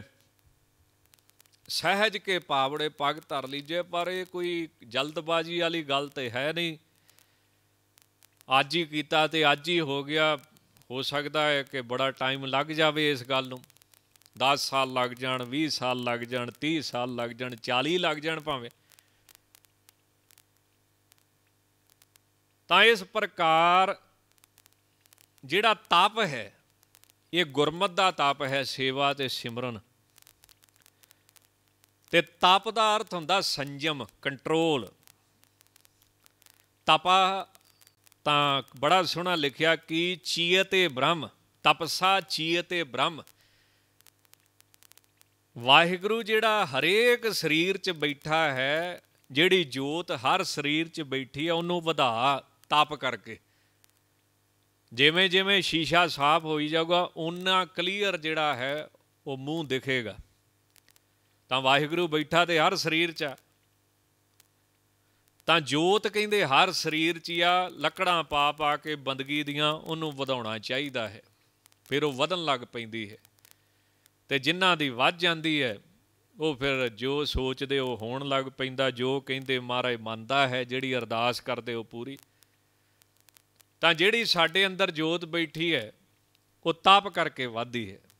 ਇਹ ਤੇ ਤਾਪ ਦਾ ਅਰਥ ਸੰਜਮ, ਸੇਵਾ ਸਿਮਰਨ ਤਾਂ ਮਹਾਰਾਜ ਕਹਿੰਦੇ ਨੇ ਵੀ ਜਦੋਂ ਵਿਸ਼ੇਸ਼ ਹੋਵੇ, ਬੰਦਗੀ ਕਰਕੇ, ਭਗਤੀ ਕਰਕੇ ਜਦੋਂ ਵਿਸ਼ੇਸ਼ ਹੋ ਜਾਵੇ ਤਾਂ ਫਿਰ ਵਾਹਿਗੁਰੂ ਦਾ ਜਿਹੜਾ ਸਰੂਪ ਹੈ, ਉਹ ਭੋਗਦਾ ਵੀ ਹੈ।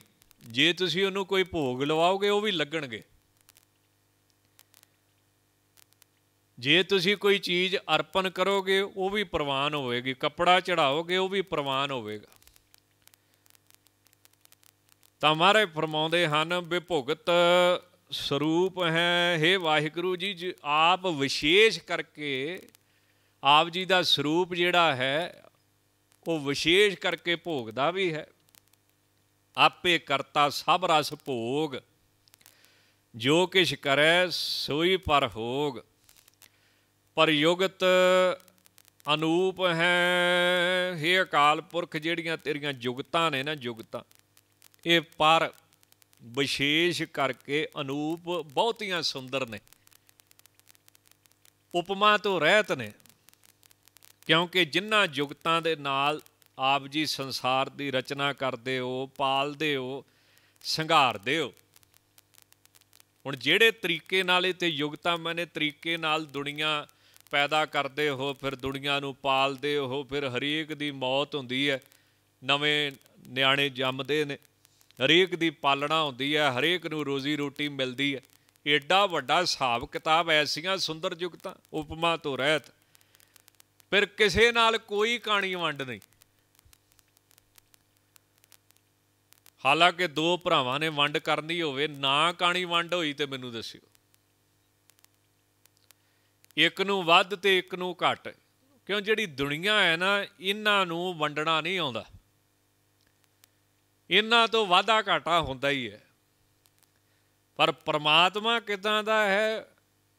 ਉਹਦੀ ਵੰਡ ਦੇ ਵਿੱਚ ਹੁਣ ਜੇ ਉਹ ਪੈਦਾ ਕਰਦਾ ਹੈ, ਪਾਲਦਾ ਹੈ ਜਾਂ ਮੌਤ ਹੁੰਦੀ ਹੈ, ਤੇ ਕਿਸੇ ਨਾਲ ਕੋਈ ਵਿਦਕਰਾ ਥੋੜੀ ਜੇ ਤਗੜੇ ਦੀ ਹੋ ਰਹੀ ਹੈ ਤੇ ਮਾੜੇ ਦੀ ਵੀ ਹੋ ਰਹੀ ਹੈ। ਹੁਣ ਸਤਿਗੁਰੂ ਨੇ ਬਾਣੀ ਦੇ ਵਿੱਚ ਬੜਾ ਸੁੰਦਰ ਇਹ ਸ਼ਬਦ ਅੰਕਿਤ ਕੀਤਾ ਹੈ, ਮਹਾਰਾਜ ਜੀ ਨੇ, ਐਸੋ ਇਹੋ ਸੰਸਾਰ ਪੇਖਣਾ ਰਹਿ ਨਾ ਕੋ ਪਈ ਹੈ ਰੇ, ਸੂਦੇ ਸੂਦੇ ਹਰੇਕ, ਚਲੋ ਤੁਮ ਨਤਰ ਕੋ ਧੱਕਾ ਦਵਾਈ ਹੈ ਰੇ। ਬਾਰੇ ਬੂਢੇ ਤਰੁਨੇ ਭਈਆ, ਸਭ ਹੂੰ ਜਮ ਲੈ ਜਈ ਹੈ ਰੇ, ਮਾਨਸ ਬੱਪਰਾ ਮੂਸਾ ਕੀਨੋ ਮੀਚ ਬਲਈਆ ਖਈ ਹੈ ਰੇ। ਕਿਸੇ ਦਾ ਕੋਈ ਲਿਹਾਜ਼ ਨਹੀਂ। ਤਾਂ ਹੁਣ ਵਾਹਿਗੁਰੂ ਦੀ ਵੰਡ ਉਹ ਭਾਵੇਂ ਪੈਦਾ ਕਰਨਾ, ਉਹ ਭਾਵੇਂ ਪਾਲਣਾ, ਉਹ ਭਾਵੇਂ ਸੰਘਾਰਨਾ, ਸੰਸਾਰ ਨੂੰ ਉਹ ਉਪਮਾ ਤੋਂ ਰਹਿਤ ਹੈ। ਐਸੀਆਂ ਬੇਮਿਸਾਲ ਯੁਗਤੀਆਂ ਨੇ, ਸੋਹਣੀ ਸਾਜ ਪੰਜਵੇਂ ਪਾਤਸ਼ਾਹ ਤੇ ਇੱਥੋਂ ਤੱਕ ਕਹਿੰਦੇ ਨੇ, ਆਪੇ ਆਪ ਸਗਲ ਮਹਿ ਆਪ, ਅਨਕ ਜੁਗਤ ਰਾਚ ਥਾਪ ਉਥਾਪ, ਤਿੰਨ ਚੀਜ਼ਾਂ ਰਾਚ, ਥਾਪ ਤੇ ਉਥਾਪ। ਹੁਣ ਇੱਥੇ ਰਾਚ ਤੇ ਥਾਪ ਸਮਾਨ ਅਰਥੀ ਬਣ ਗਏ। ਤਾਂ ਮਹਾਂਪੁਰਸ਼ਾਂ ਨੇ ਤਿੰਨ ਅਰਥ ਕਰਤੇ ਨਾ, ਪੈਦਾ ਕਰਨਾ, ਪਾਲਣਾ ਤੇ ਉਥਾਪ, ਮੈਨੇ ਸ਼ਿੰਗਾਰ ਕਰਨਾ। ਨਹੀਂ ਤੇ ਰਾਚ ਤੇ ਥਾਪ ਦਾ ਕੀ ਅਰਥ ਹੋਇਆ ਫਿਰ? ਸਮਾਨ ਅਰਥ ਹੋ ਗਏ। ਆਪੇ ਆਪ, ਸਗਲ ਮਹਿ ਆਪ, ਅਨਕ ਜੁਗਤ ਰਚ, ਥਾਪ, ਉਥਾਪ। ਅਬਨਾਸੀ ਨਾਹੀ ਕਿਛ ਖੰਡ, ਧਾਰਨ ਧਾਰ ਰਹਿਓ ਬ੍ਰਹਮੰਡ। ਹੁਣ ਵਾਹਿਗੁਰੂ ਪਰਮੇਸ਼ਰ ਦੀਆਂ ਐਸੀਆਂ ਜੁਗਤਾਂ ਨੇ। ਉਹਨਾਂ ਜੁਗਤੀਆਂ ਦੀ ਹੀ ਕੋਈ ਕਥਨੀ ਕਰਕੇ, ਉਗਤੀ ਕਰਕੇ ਅੰਤ ਨਹੀਂ ਪਾ ਸਕਦਾ। ਕਿ ਕਿੱਦਾਂ ਰੱਬ ਏਡੀ ਦੁਨੀਆ ਬਣਾਉਂਦਾ ਹੈ, ਕਿੱਦਾਂ ਚਲਾਉਂਦਾ ਹੈ, ਕਿੱਦਾਂ ਪਰਮੇਸ਼ਰ ਸੰਸਾਰ ਦਾ ਕੰਟਰੋਲ ਰੱਖਦਾ ਹੈ।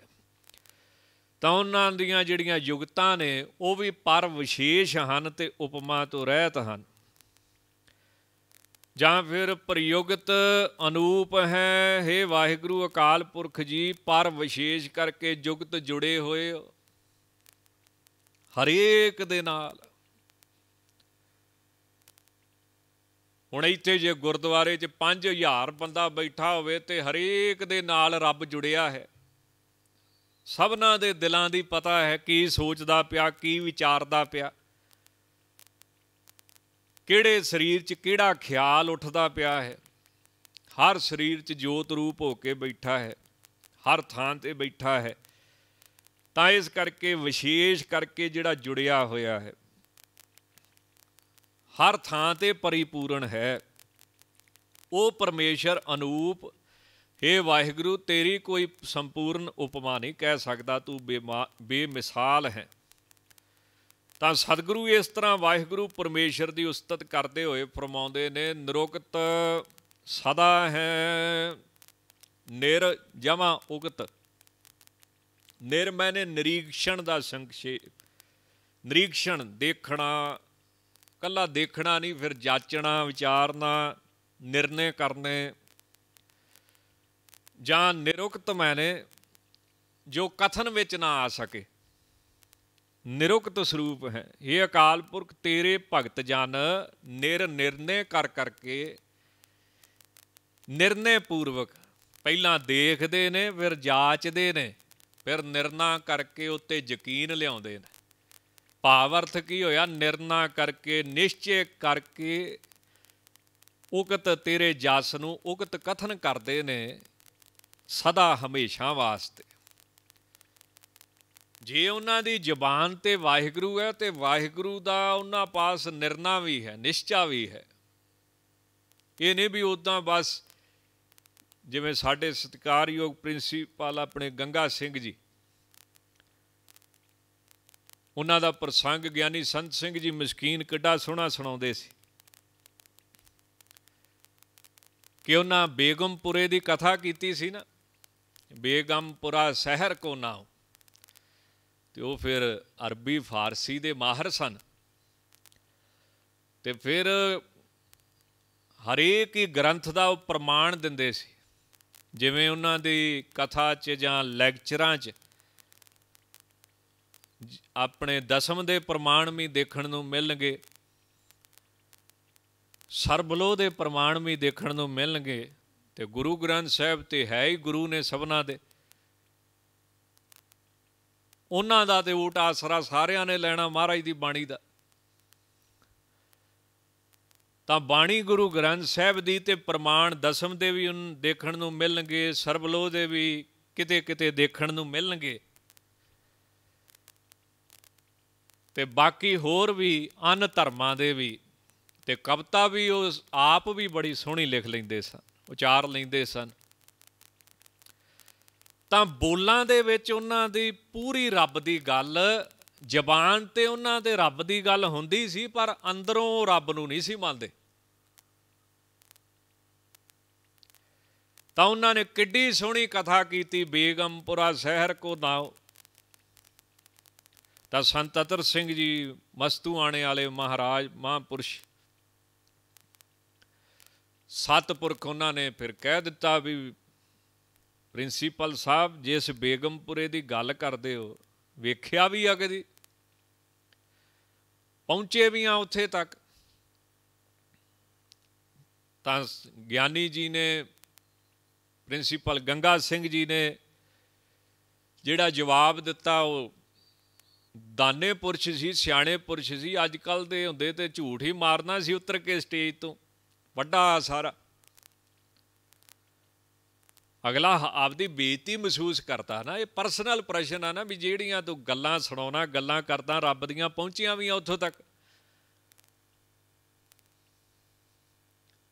ਪਰ ਉਹ ਦਾਨੇ ਪੁਰਸ਼, ਸਿਆਣੇ ਪੁਰਸ਼, ਪ੍ਰਿੰਸੀਪਲ ਗੰਗਾ ਸਿੰਘ ਜੀ ਨੇ ਕੀ ਜਵਾਬ ਦਿੱਤਾ ਸੀ? ਸਿੱਧਾ ਜਵਾਬ ਨਹੀਂ ਦਿੱਤਾ ਉਹਨਾਂ।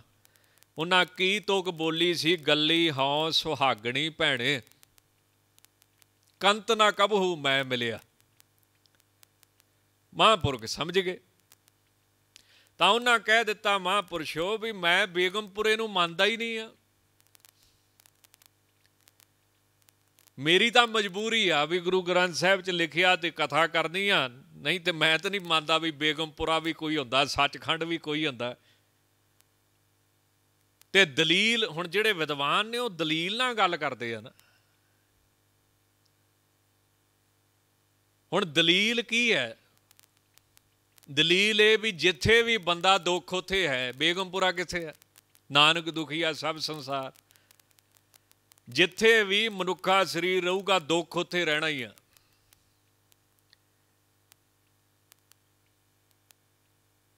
ਤਾਂ ਮਹਾਂਪੁਰਸ਼ਾਂ ਨੇ ਕਿੱਡੇ ਪ੍ਰੇਮ ਦੇ ਨਾਲ ਸਮਝਾਇਆ ਸੀ। ਸਤਿਗੁਰੂ ਜੀ ਦਾ ਸ਼ਬਦ ਆਉਂਦਾ ਨਾ, ਧੰਨ ਗੁਰੂ ਨਾਨਕ ਦੇਵ ਸਾਹਿਬ ਦਾ। ਕਿਸੇ ਜੋਗੀ ਜੀ ਦੇ ਪਰਥਾਏ। ਉਥਾਨਕਾ 'ਚ ਇਸ ਤਰ੍ਹਾਂ ਲਿਖਿਆ ਹੈ ਕਿ ਚਿੱਟੇ ਉਹਨਾਂ ਦੇ ਕੱਪੜੇ ਬਸਤਰ, ਸੋਹਣੇ ਉਹਨਾਂ ਦੇ ਬੋਲ ਜੋਗੀ ਦੇ, ਲੰਮਾ ਉਹਦਾ ਨੱਕ ਤੇ ਕਾਲੀਆਂ ਉਹਦੀਆਂ ਸੋਹਣੀਆਂ ਅੱਖਾਂ। ਇਹਦਾ ਭਾਵ ਅਰਥ ਬੜਾ ਸੋਹਣਾ ਮਹਾਂਪੁਰਸ਼ਾਂ ਨੇ ਕੱਢਿਆ ਹੈ। ਉਸਤਤ ਰੂਪ ਨੱਕ ਵੀ ਬੜਾ ਲੰਮਾ ਵਾ।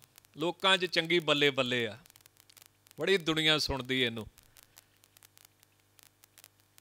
ਤੇ ਗਿਆਨ, ਧਿਆਨ ਕਾਫੀ ਪੜਿਆ ਸੁਣਿਆ ਹੈ, ਧਾਰਮਿਕ ਕਿਤਾਬਾਂ ਤੇ ਅੱਖਾਂ ਵੀ ਚੰਗੀਆਂ ਕਾਲੀਆਂ ਨੇ। ਅੱਖਾਂ ਦਾ ਸੰਬੰਧ ਗਿਆਨ ਦੇ ਨਾਲ ਕੀਤਾ ਨਾ। ਗਿਆਨ ਅੰਜਨ।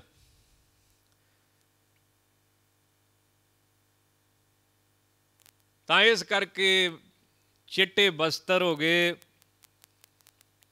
ਸੋਹਣਾ ਬੋਲ ਹੋ ਗਏ, ਸੋਹਣਾ ਨੱਕ ਹੋ ਗਿਆ ਤੇ ਕਾਲੀਆਂ ਤੇਰੀਆਂ ਅੱਖਾਂ ਜੋਗੀਆ ਪਰ ਰੱਬ ਵੇਖਿਆ ਹੀ ਕਦੀ?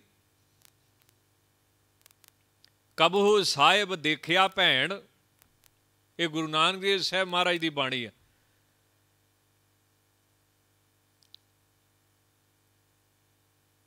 ਤਾਂ ਫਿਰ ਉੱਥੇ ਆਪ ਹੀ ਮਹਾਰਾਜ ਨੇ ਜਵਾਬ ਦਿੱਤਾ ਹੈ ਕਿਉਂਕਿ ਜਵਾਬ ਤਾਂ ਉਹ ਦਵੇ ਨਾ, ਫਿਰ ਜਿਹਦੇ ਪਾਸ ਇਹ ਪ੍ਰਾਪਤੀ ਹੋਵੇ, ਦੂਜਾ ਤੇ ਘਬਰਾ ਜਾਊਗਾ, ਭੱਜੂਗਾ। ਜਿਵੇਂ ਸਵਾਮੀ ਵਿਵੇਕਾਨੰਦ ਜੀ ਟਗੌਰ ਸਾਹਿਬ ਦੇ ਮੇਰੇ ਖਿਆਲ ਨਾਲ ਜਿਹੜੇ ਦਾਦਾ ਜੀ ਸਨ, ਉਹ ਬੜੇ ਪ੍ਰਸਿੱਧ ਸੰਤ ਸਨ। ਬੜੀ ਮਸ਼ਹੂਰੀ ਸੀ ਉਹਨਾਂ ਦੀ। ਦੁਨੀਆ ਨੂੰ ਮੰਨਦੀ ਸੀ ਵੀ ਇਹ ਪੂਰਾ ਸੰਤ ਆ, ਜਿੱਦਾਂ ਆਪਣੇ 'ਚ ਚੱਲਦਾ ਇਹ ਪੂਰਾ ਬ੍ਰਹਮ ਗਿਆਨੀ।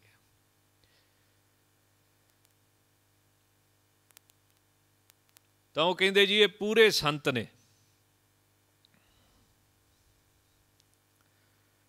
ਤਾਂ ਉਹ ਉਹਨਾਂ ਪਾਸ ਗਏ, ਪਰ ਉਹਨਾਂ ਦਾ ਬੜਾ ਸਿਸਟਮ ਸੀ ਪੜ੍ਹੇ ਲਿਖੇ ਲੋਕ ਸਨ ਵੀ ਇਸ ਟਾਈਮ ਕਥਾ ਕਰਨੀ, ਇਸ ਟਾਈਮ ਸਵਾਲ ਜਵਾਬ ਫਿਰ ਉਹਨਾਂ ਨੇ ਧਿਆਨ ਵੀ ਕਰਨਾ ਰੱਬ ਦਾ। ਪਰ ਹੁਣ ਜਿਹੜੇ ਬੰਦੇ ਨੂੰ ਪਰਮੇਸ਼ਰ ਦੀ ਪਿਆਸ ਲੱਗੀ ਹੋਵੇ, ਕਿੱਥੇ ਰਹਿ ਹੁੰਦਾ? ਉਹ ਨਦੀ ਤੈਰ ਕੇ ਗਏ, ਦੇਖੋ। ਵੀ ਉਹ ਸੰਤ ਮੈਨੂੰ ਰੱਬ ਮਿਲਾ ਸਕਦਾ ਹੈ। ਜਗਿਆਸੂ ਸਨ। ਜਗਿਆਸੂ ਜਿਹਨੂੰ ਸਿਰਫ ਰੱਬ ਨੂੰ ਮਿਲਣ ਦੀ ਇੱਛਾ ਰਹਿ ਗਈ, ਹੋਰ ਕਿਸੇ ਦੀ ਨਹੀਂ।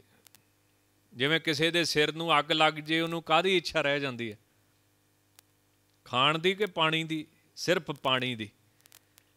ਜਦੋਂ ਇਸ ਤਰ੍ਹਾਂ ਕਿਸੇ ਨੂੰ ਸਿਰਫ ਰੱਬ ਦੀ ਇੱਛਾ ਰਹਿ ਜੇ, ਹੋਰ ਸਭ ਇੱਛਾ ਉਹਦੀਆਂ ਖਤਮ ਹੋ ਜਾਣ, ਤਾਂ ਉਹਨੂੰ ਜਗਿਆਸੂ ਕਿਹਾ ਜਾਂਦਾ ਹੈ। ਉਹਨੂੰ ਫਿਰ ਪਰਮੇਸ਼ਰ ਦੀ ਪ੍ਰਾਪਤੀ ਹੁੰਦੀ ਹੈ, ਜੈਸੀ ਭੂਖ ਤੈਸੀ ਕਾ ਪੂਰਕ ਤਾਂ ਉਹ ਕੀ ਹੋਇਆ ਵੀ ਉਹ ਚਲੇ ਗਏ ਨਦੀ ਤੈਰ ਕੇ ਰਾਤ ਦੇ 10 11 12 ਵਜੇ ਹੋਣਗੇ, ਦਰਵਾਜ਼ਾ ਖੜਕਾਤਾ। ਉਹਨਾਂ ਦਾ ਸ਼ਹਿਰ ਨਾਰੋ ਜੀ ਕਿ ਇਸ ਤਰ੍ਹਾਂ ਉਹਨਾਂ ਦਾ ਨਾਂ ਸੀ, ਉਹ ਬਾਹਰ ਆਏ।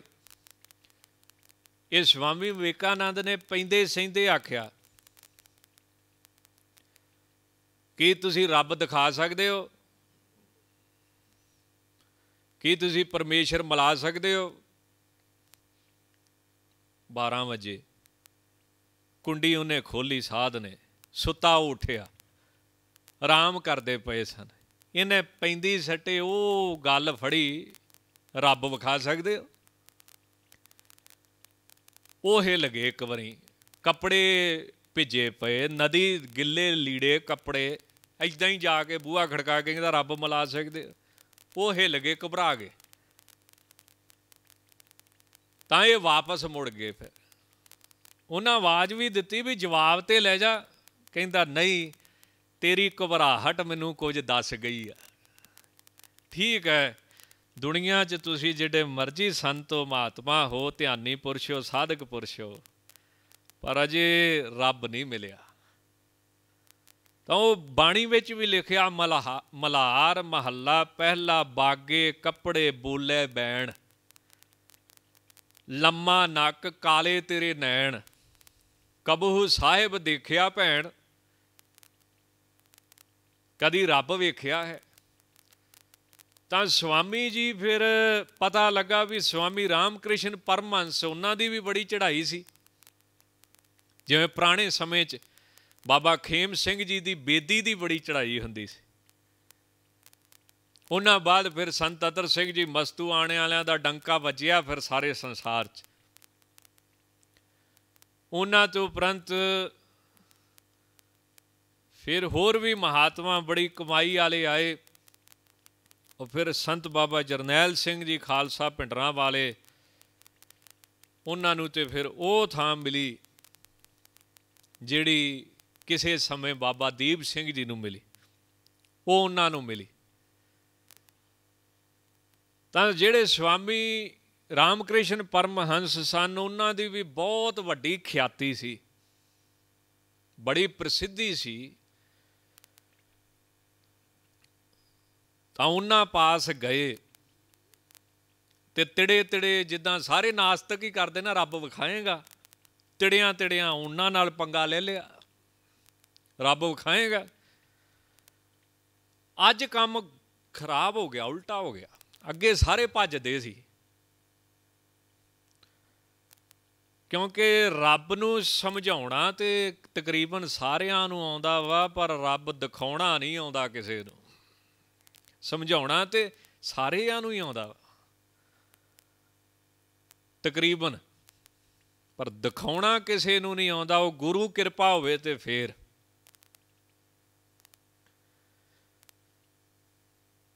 ਜਦੋਂ ਇਹਨਾਂ ਨੇ ਤੜਿਆਂ ਤੜਿਆਂ ਨੇ ਉੱਥੇ ਸਵਾਲ ਕੀਤਾ ਤੇ ਉਹ ਮੰਜੀ ਤੇ ਬੈਠੇ, ਇਹ ਪੁੰਜੇ ਬੈਠੇ ਨੇ, ਸਵਾਲ ਕੀਤਾ ਵੀ ਰੱਬ ਵਿਖਾਓਗੇ।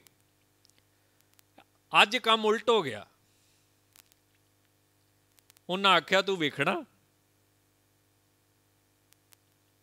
ਜਦੋਂ ਉਹ ਆਪਣੇ ਪੂਰੇ ਵੀਰ ਆਸ ਚ, ਹੁਣ ਗਿਆਨੀ ਪੁਰਸ਼ ਸਨ, ਨੇਤਰ ਇਹਦੇ ਤੇ ਅੱਖਾਂ 'ਚ ਇਹਦੀਆਂ ਅੱਖਾਂ 'ਚ ਪਾ ਕੇ ਜਦੋਂ ਉਹਨਾਂ ਆਖਿਆ, ਵੇਖਣਾ ਤੂੰ? ਇਹ ਹਿੱਲ ਗਏ ਫਿਰ। ਕਿਉਂ ਇਹ ਤਿਆਰ ਨਹੀਂ ਸਨ? ਇਹ ਤਾਂ ਗਿੱਜੇ ਸੀ ਨਾ ਗੱਲਾਂ ਮਾਰਨ, ਰੱਬ ਵਿਖਾ। ਉਹ ਸਾਰਿਆਂ ਨੂੰ ਹੀ ਆਉਂਦੀਆਂ ਉਹ ਤੇ ਜਿਹੜੇ ਕਾਲਜ 'ਚ ਪੜ੍ਹਦੇ ਆ, ਇਹ ਵੀ ਪੜ੍ਹਦੇ ਹੁਣ ਤਿਆਰੀ ਤੇ ਕੋਈ ਹੈ ਨਹੀਂ ਸੀ, ਨਾ ਕੋਈ ਸੇਵਾ, ਨਾ ਕੋਈ ਸਿਮਰਨ। ਤਿੜੇ ਤਿੜੇ ਕਹਿ ਬੈਠੇ। ਇਹ ਹੁਣ ਜਾਨ ਛਡਾਵੇ, ਡਰ ਗਏ। ਉਹਨਾਂ ਦਾ ਵੀਰ ਰਸ ਵੇਖ ਕੇ ਨਾ ਇਹ ਇੰਨਾ ਭੈ ਪੈ ਗਿਆ ਇਹਨਾਂ ਦੇ ਉੱਤੇ ਵੀ ਇਹ ਕੰਬ ਗਏ ਇੱਕ ਵਾਰੀ? ਇਹ ਡਰੇ ਫਿਰ। ਹੁਣ ਇਹ ਜਾਨ ਛਡਾਵੇ, ਉਹ ਸਵਾਮੀ ਜੀ ਲੜਨਾ ਦੇਣ, ਉਹ ਕਹਿੰਦੇ ਤੈਨੂੰ ਵਿਖਾਉਣਾ ਮੈਂ। ਹੁਣ ਇਹ ਜਾਨ ਛਡਾਉਣ ਵੀ ਮੈਂ ਖਿਸਕਾਂ, ਇੱਥੋਂ ਕਿੱਥੇ ਫਸ ਗਿਆ? ਤਾਂ ਉਹਨਾਂ ਉਹ ਉੱਚੀ ਥਾਂ ਬੈਠੇ ਸੀ, ਇਹ ਨੀਵੇਂ ਥਾਂ ਬੈਠੇ ਸਾਹਮਣੇ ਚੌਂਕੜਾ ਮਾਰ ਕੇ ਉਹਨਾਂ ਆਪ ਦਾ ਚਰਨ ਇਹਦੇ ਦਿਲ ਤੇ ਲਾਇਆ। ਇਹਦੀ ਸਮਾਧੀ ਲੱਗੀ 2 2.5 ਘੰਟੇ ਸਵਾਮੀ ਵਿਵੇਕਾਨੰਦ ਦਾ ਜੀਵਨ ਬਦਲ ਗਿਆ। ਜਿਹੜਾ ਹਰੇਕ ਨਾਲ ਸਿਰ ਪਸਾਉਂਦਾ ਸੀ, ਰੱਬ ਵਿਖਾਏਗਾ। ਇਹ ਹਾਲਾਤ ਪ੍ਰਿੰਸੀਪਲ ਗੰਗਾ ਸਿੰਘ ਦੇ ਸੰਤ ਅਤਰ ਸਿੰਘ ਜੀ ਨਾਲ ਹੋ ਗਏ। ਕਹਿੰਦਾ, ਮੈਂ ਤੇ ਬੇਗਮਪੁਰਾ ਮੰਨਦਾ ਹੀ ਕਿਸੇ ਨੂੰ ਨਹੀਂ। ਹੁਣ ਦਲੀਲ ਆ ਨਾ, ਦਲੀਲ ਤੇ ਇਹੀ ਆ ਨਾ ਵੀ ਜਿੱਥੇ ਬੰਦਾ ਵਾ, ਦੁੱਖ ਉੱਥੇ ਰਹਿਣਾ ਹੀ ਆ। ਇਹੋ ਜੀ ਕੋਈ ਥਾਂ ਹੀ ਨਹੀਂ ਫਿਰ। ਜਿਹੜਾ ਬੇਗਮਪੁਰਾ ਹੋਵੇ, ਹੁਣ ਬੰਦਾ ਜਿੱਥੇ ਵੀ ਆ, ਦੁੱਖ ਉੱਥੇ ਹੈ। ਤਾਂ ਸੰਤ ਅਤਰ ਸਿੰਘ ਜੀ ਮਹਾਰਾਜ ਨੇ ਜਿਹੜੀ ਗੱਲ ਕਹੀ ਵੀ ਤੁਸੀਂ ਮੇਰੇ ਨਾਲ 5 ਮਿੰਟ ਬਹਿ ਕੇ ਜਾਪ ਕਰੋ। ਠੀਕ ਹੈ, ਤੁਸੀਂ ਗਿਆਨ ਬਹੁਤ ਇਕੱਠਾ ਕੀਤਾ ਤੇ ਸੇਵਾ ਤੁਹਾਡੀ ਬਹੁਤ ਆ, ਵਿਦਿਆਰਥੀ ਪੜ੍ਹਾਏ, ਪੰਥ 'ਚ ਪ੍ਰਚਾਰ ਦੀ ਤੁਸੀਂ ਕਿੱਡੀ ਵੱਡੀ ਸੇਵਾ ਕਰਦੇ ਹੋ। ਪਰ ਜਿਹੜੀ ਅਗਲੀ ਗੱਲ ਉਹਨਾਂ ਨੇ ਕਹੀ, ਉਹਨੇ ਦਿਲ ਤੋੜਤਾ, ਸੰਤਾਂ ਨੇ, ਉਹਨਾਂ ਆਖਿਆ ਵੀ ਪੱਲੇ ਤੇਰੇ ਹੈ ਨਹੀਂ ਕੁਝ। ਉਹ ਗੱਲ ਫਿਰ ਚੁਬੀ ਵੀ ਆ, ਵੀ ਚੁਬਣੀ ਵੀ ਸੀ। ਏਡੇ ਵੱਡੇ ਵਿਦਵਾਨ ਨੂੰ। ਚਲੋ ਇਹ ਬੈਠੇ, ਤਾਂ ਜਿਵੇਂ ਗੁਰਬਾਣੀ ਕਹਿੰਦੀ ਆ ਨਾ ਵੀ ਸਾਧ ਕੈ ਸੰਗ ਨਹੀਂ ਕਛ ਘਾਲ, ਦਰਸ਼ਨ ਭੇਟਤ ਹੋਤ ਨਿਹਾਲ। ਤਾਂ ਫਿਰ ਇਹ ਜਦੋਂ ਇਹਨਾਂ ਨੇਤਰ ਖੋਲੇ ਤੇ ਰੋਣ ਲੱਗ ਪਏ, ਤਾਂ ਸਹੀ ਮਾਇਨੇ ਚ ਪ੍ਰਿੰਸੀਪਲ ਗੰਗਾ ਸਿੰਘ ਜੀ ਫਿਰ ਆਸ, ਆਸਤਕ ਹੋਏ, ਯਕੀਨ ਵਾਲੇ ਹੋਏ। ਪਹਿਲਾਂ ਉਹ ਕਥਾ ਕਰਦੇ ਸੀ, ਜ਼ੁਬਾਨ ਤੋਂ ਵੈਗਰੂ ਵੈਗਰੂ ਦੀਆਂ ਗੱਲਾਂ ਕਰਦੇ ਆ, ਸਾਰੇ ਹੀ ਕਰਦੇ, ਪਰ ਅੰਦਰੋਂ ਨਹੀਂ ਸੀ ਮੰਨਦੇ ਵੀ ਵਾਹਿਗੁਰੂ ਕੋਈ ਇਦਾਂ ਦੀ ਗੱਲ ਹੈ। ਕਰਨੀ ਪੂਰੀ ਕਥਾ, ਪਰ ਅੰਦਰੋਂ ਯਕੀਨ ਨਹੀਂ। ਸੋ ਵਿਚਾਰ ਲੰਬੀ ਹੋਈ ਜਾ ਰਹੀ ਹੈ। ਤਾਂ ਮਹਾਰਾਜ ਬੜੇ ਪ੍ਰੇਮ ਦੇ ਨਾਲ ਇਹ ਗੱਲ ਫਰਮਾਉਂਦੇ ਆ ਕਿ ਇਹ ਨਿਸ਼ਚਾ ਕੇ ਸੁਣਦਾ, ਸਦ ਵੇਖਦਾ, ਕਿਉਂ ਮੁਕਰ ਪਿਆ ਜਾਏ? ਕਿ ਉਹ ਵਾਹਿਗੁਰੂ ਪਰਮੇਸ਼ਰ ਜਿਹੜਾ ਹੈ, ਉਹ ਤੇ ਨਿਸ਼ਚਾ ਲਿਆਉਣਾ, ਇਹ ਤੇ ਨਿਰਦਾਰਥ ਕੀ ਕਰਤਾ ਸੰਤਾਂ ਨੇ? ਨਿਰਣਾ ਕਰਕੇ, ਨਿਸ਼ਚਾ ਕਰਕੇ, ਯਕੀਨ ਕਰਕੇ ਕਹਿ, ਵਾਹਿਗੁਰੂ ਜ਼ਬਾਨ ਚ। ਉਦਾਂ ਤੇ ਸਾਰੇ ਵੇਖੋ ਵੇਖੋ ਵੀ ਵੈਗਰੂ ਵੈਗਰੂ ਕਰੀ ਜਾਂਦੇ, ਕਈ ਪੱਗਾਂ ਲਵਾ ਲੈਂਦੇ ਯਕੀਨ ਕਰਕੇ ਕਹਿਣਾ, ਅੰਦਰੋਂ ਭਾਵਨਾ ਨਾਲ ਕਹਿਣਾ, ਇਹ ਫੀਲਿੰਗ ਲੈਣੀ ਵੀ ਰੱਬ ਹੈ, ਫੇਰ ਕਹਿਣਾ ਵਾਹਿਗੁਰੂ, ਉਹਦਾ ਫ਼ਰਕ ਹੁੰਦਾ ਹੈ। ਉਦਾਂ ਤੇ ਸਾਰੀ ਦੁਨੀਆ ਕਹੀ ਜਾਂਦੀ ਹੈ ਮਾਰੇ ਕਹਿੰਦੇ, ਤੂੰ ਵੀ ਕਹੀ ਜਾ ਰਾਮ ਰਾਮ ਕਰਤਾ, ਸਭ ਜੱਗ ਫਿਰੇ ਰਾਮ ਨਾ ਪਾਇਆ ਜਾਏ। ਤਾਂ ਨਿਰ ਮੈਨੇ ਨਿਰਨਾ ਕਰਕੇ ਨਿਰਨੇ ਪੂਰਵਕ ਤੇਰੇ ਜਸ ਨੂੰ ਸਿਰਫ ਭਗਤ ਲੋਕ। ਉਗਤ ਸਦਾ ਉਚਾਰਨ ਕਰਦੇ ਰਹਿੰਦੇ ਹਨ। ਹਰ ਕੇ ਲੋਕਾ ਸਦਾ ਗੁਣ ਗਾਵੈ ਤਿਨ ਕੋ ਮਿਲਿਆ ਪੂਰਨ ਧਾਮ। ਜਿਨ੍ਹਾਂ ਨੇ ਨਿਸ਼ਚੇ ਪੂਰਵਕ ਵਾਹਿਗੁਰੂ ਜੀ ਦੇ ਗੁਣ ਗਾਏ ਹਨ। ਜਾਂ ਫਿਰ ਨਿਰੋਗਤ ਸਦਾ ਹੈ। हे ਅਕਾਲ ਪੁਰਖ ਅੰਤਰਜਾਮੀ ਜੀ, ਤੇਰਾ ਜਿਹੜਾ ਸਰੂਪ ਹੈ, ਉਹ ਸਦਾ ਹੀ ਉਗਤ ਉਚਾਰਨ ਤੋਂ ਨਿਰ ਰਹਿਤ ਹੈ। ਉਹਦਾ ਕੋਈ ਅੰਤ ਨਹੀਂ ਪਾ ਸਕਦਾ। ਹੁਣ ਜਿੰਨੇ ਵੀ ਮਹਾਤਮਾ ਹੋਏ, ਕਿਸੇ ਨੇ ਆਖਿਆ ਵੀ ਮੈਂ ਬ੍ਰਹਮ ਗਿਆਨੀ ਆ ਉਚਾਰਨ ਤੋਂ ਰਹਿਤ ਸਰੂਪ। ਉਹਨੂੰ ਬਾਹਰਲੀ ਜ਼ੁਬਾਨ ਕਿੱਦਾਂ ਉਹਦੇ ਬਾਰੇ ਦੱਸੇਗੀ? ਗਿਆਨੀ ਗਿਆਨ ਸਿੰਘ ਜੀ ਨੇ ਬਹੁਤ ਸੁੰਦਰ ਇਹ ਬਚਨ ਕੀਤੇ ਨੇ, ਪੰਥ ਪ੍ਰਕਾਸ਼ ਅੰਦਰ। ਵੀ ਜੇ ਕਿਸੇ ਕੋਲੇ ਬ੍ਰਹਮਾ ਜੀ ਵਰਗੀ ਬੁੱਧੀ ਹੋਵੇ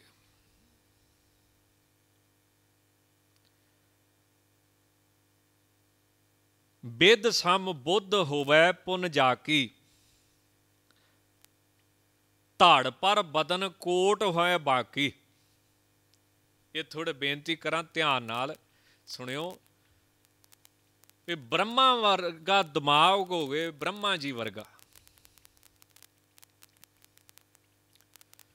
ਤੇ ਇੱਕ ਧੜ ਤੇ ਇੱਥੇ ਰਾਵਣ ਦੇ 10 ਸਿਰ ਸੀ ਨਾ, ਇੱਥੇ ਉਹ ਗਿਆਨੀ ਗਿਆਨ ਸਿੰਘ ਜੀ ਕਮਾਲ ਕਰਦੇ ਆ।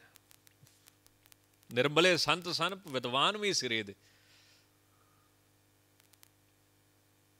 ਤਾਂ ਗਿਆਨੀ ਸ਼੍ਰੀਮਾਨ ਗਿਆਨੀ ਗਿਆਨ ਸਿੰਘ ਜੀ ਕੀ ਕਹਿੰਦੇ, ਧੜ ਪਰ ਬਦਨ ਕੋਟ ਹੋਇਆ ਬਾਂਕੀ।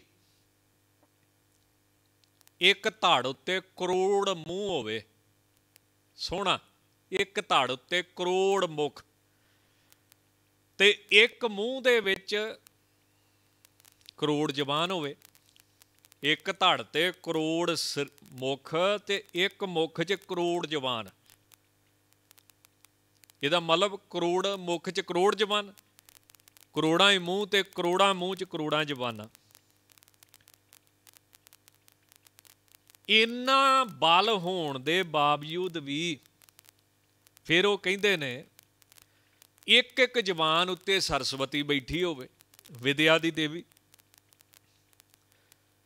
ਵਾਹਿਗੁਰੂ ਇੱਕ ਇੱਕ ਜ਼ਬਾਨ ਉੱਤੇ ਕੋਟ ਕੋਟ ਹੋਵੇ ਸਥਿਤ ਸਾਰਤਾ।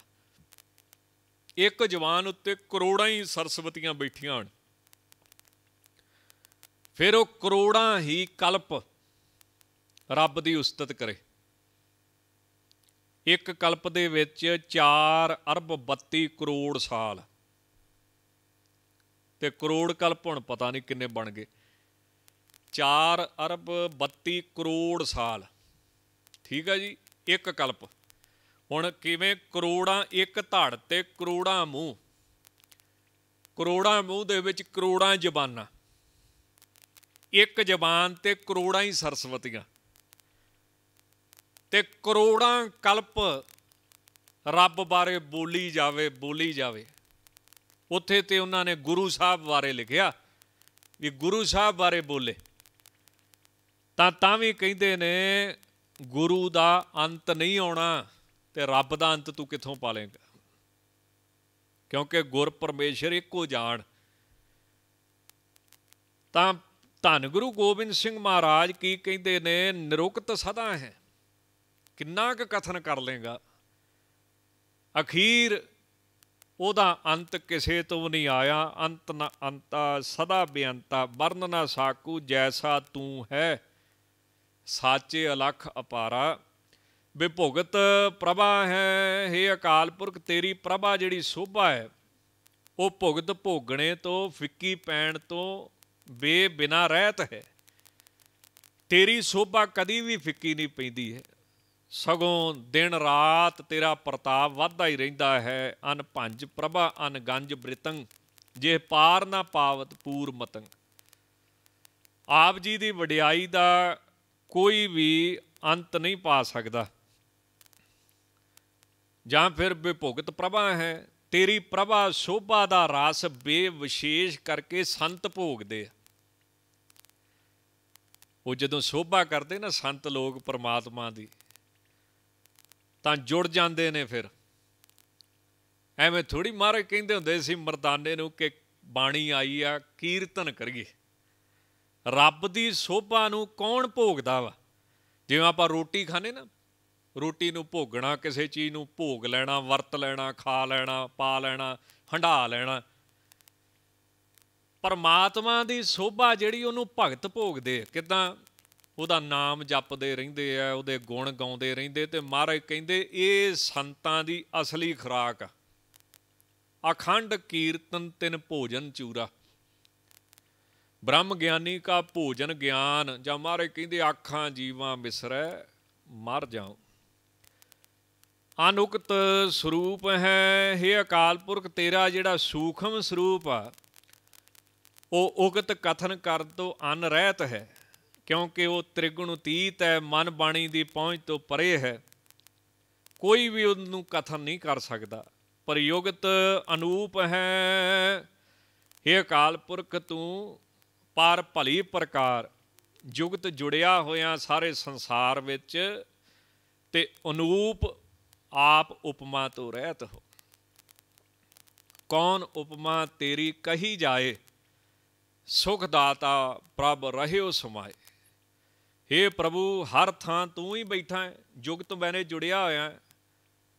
ਜਿਵੇਂ ਮਹਾਰਾਜ ਜੀ ਕਹਿੰਦੇ, ਹੱਥ, ਹਾਥ ਕਲਮ ਅਗੰਮ ਮਸਤਕ ਲਿਖਾਵਤੀ। ਉਰਜ ਰਹਿਓ ਸਭ ਸੰਗ। ਰੂਪ ਉਨਾ ਹਰੇਕ ਦੇ ਨਾਲ ਉਰਜ ਰਿਹਾ ਮਿਲਿਆ ਹੋਇਆ, ਪਰ ਜੁਗਤ ਵਿਸ਼ੇਸ਼ ਕਰਕੇ ਜਿਹੜਾ ਜੁੜਿਆ ਹੋਇਆ ਹੈ।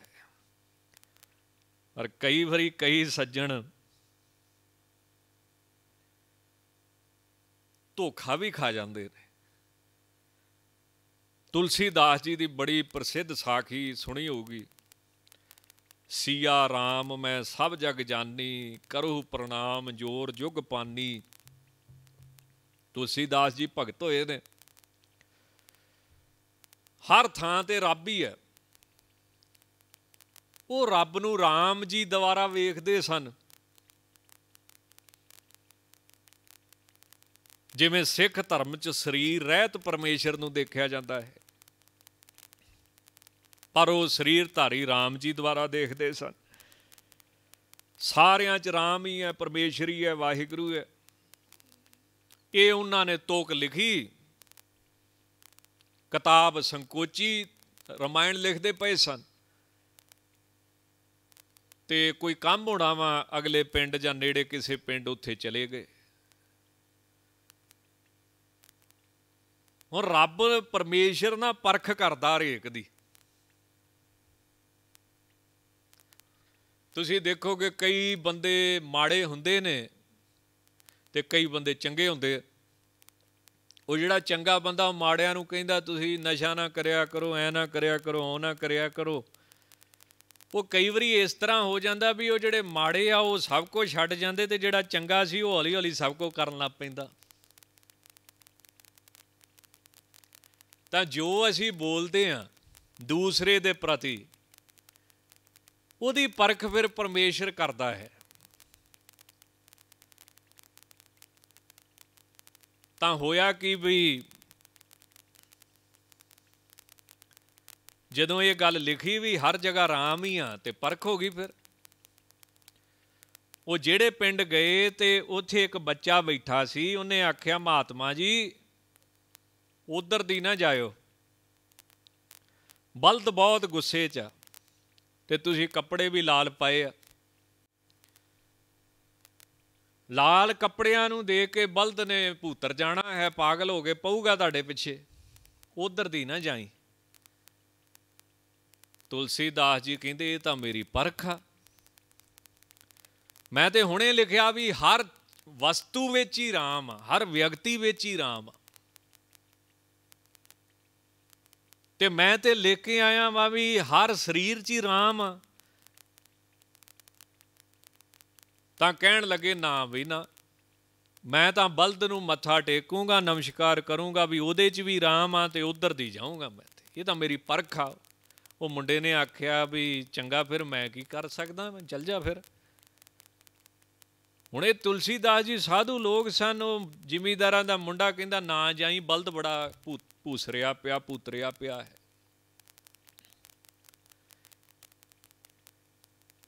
ਹੁਣ ਜਦੋਂ ਹੀ ਉਹ ਅੱਗੇ ਵਧੇ, ਤਾਂ ਫਿਰ ਬਲਦ ਨੂੰ ਜਦੋਂ ਮੱਥਾ ਟੇਕਿਆ, ਵੀ ਰਾਮ ਉਹਨੇ ਵੀ ਫਿਰ ਟੇਕਿਆ ਮੱਥਾ ਤੇ ਸਿੰਘਾਂ ਤੇ ਚੁੱਕ ਲਿਆ।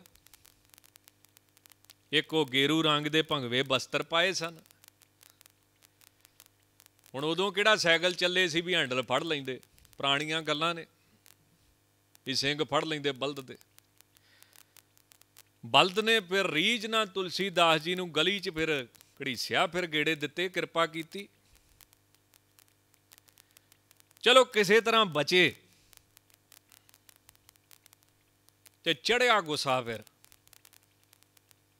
ਕਹਿੰਦੇ ਵੀ ਪੰਕਤੀਆਂ ਲਿਖਣੀਆਂ ਹੀ ਸੌਖੀਆਂ, ਕਮਾਉਣੀਆਂ ਬਹੁਤ ਔਖੀਆਂ, ਰਗੜਾਂ ਬਹੁਤ ਲੱਗਦੀਆਂ ਜੀ। ਇਹ ਲੇਖ ਪਤਾ ਨਹੀਂ ਕਿਦਾਂ ਲੈਂਦੇ ਗ੍ਰੰਥ। ਕਮਾਉਣੇ ਬਹੁਤ ਔਖੇ। ਲਿਖਣਾ ਕਿੱਡਾ ਸੌਖਾ।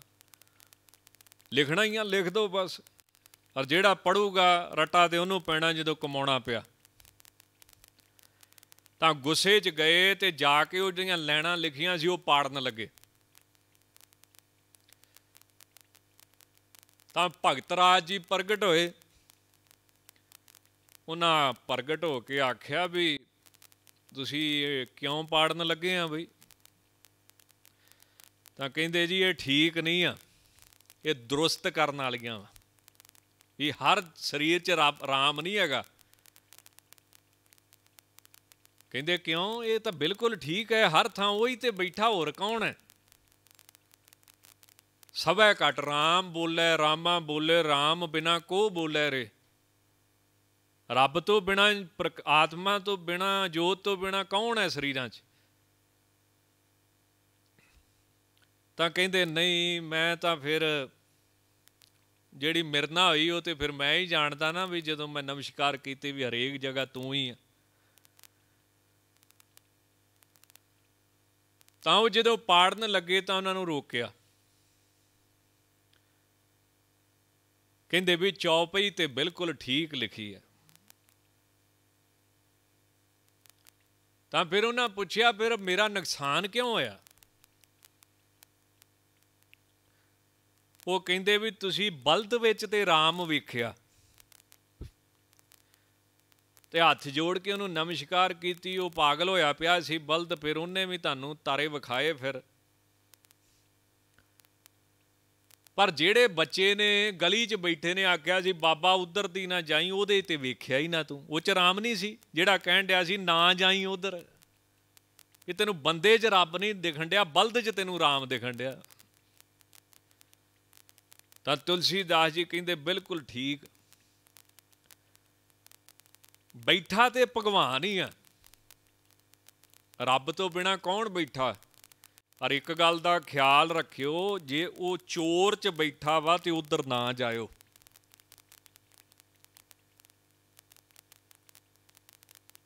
ਬੈਠਾ ਉਹੀ ਆ, ਸਾਧ ਵਿੱਚ ਵੀ ਤੇ ਚੋਰ 'ਚ ਵੀ। ਪਰ ਨਾਲ ਗੁਰਮਤ ਕੀ ਕਹਿੰਦੀ ਹੈ ਵੀ ਮਾੜੇ ਦੀ ਸੰਗਤ ਨਾ ਕਰੀ, ਭਾਵੇਂ ਬੈਠਾ ਉਹ ਹੀ ਆ ਹਰੇਕ ਸਰੀਰ 'ਚ। ਹੁਣ ਚੋਰ ਦੇ ਵਿੱਚ ਵੀ ਰੱਬ ਹੈ ਉਹਨੂੰ ਕੋਈ ਘਰ ਥੋੜੀ ਲੈ ਕੇ ਆਉਂਦਾ। ਹੁਣ ਸੱਪ ਦੇ ਵਿੱਚ ਵੀ ਜੇ ਰੱਬ ਬੈਠਾ ਤੇ ਉਹਦਾ ਮੂੰਹ ਚੁੰਮਣਾ ਜਾ ਕੇ ਨਾਲ ਇਹ ਵੀ ਤੇ ਲਿਖਿਆ ਵਾ ਨਾ ਵੀ ਉਹਦੀ ਸੰਗਤ ਨਾ ਕਰੀ। ਤਾਂ ਦ੍ਰਿਸ਼ਟੀ ਹੋਰ ਚੀਜ਼ ਹੁੰਦੀ ਹੈ ਤੇ ਆਚਰਣ ਹੋਰ ਚੀਜ਼ ਹੁੰਦਾ। ਵਿਵਹਾਰ ਹੋਰ ਹੁੰਦਾ। ਰੱਬ ਹਰੇਕ ਚ ਦੇਖੋ।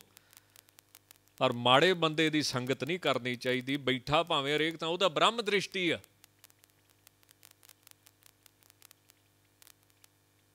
ਪਰ ਜੀਵਨ ਜਿਹੜਾ ਉਹ ਆਪੋ ਆਪਣਾ।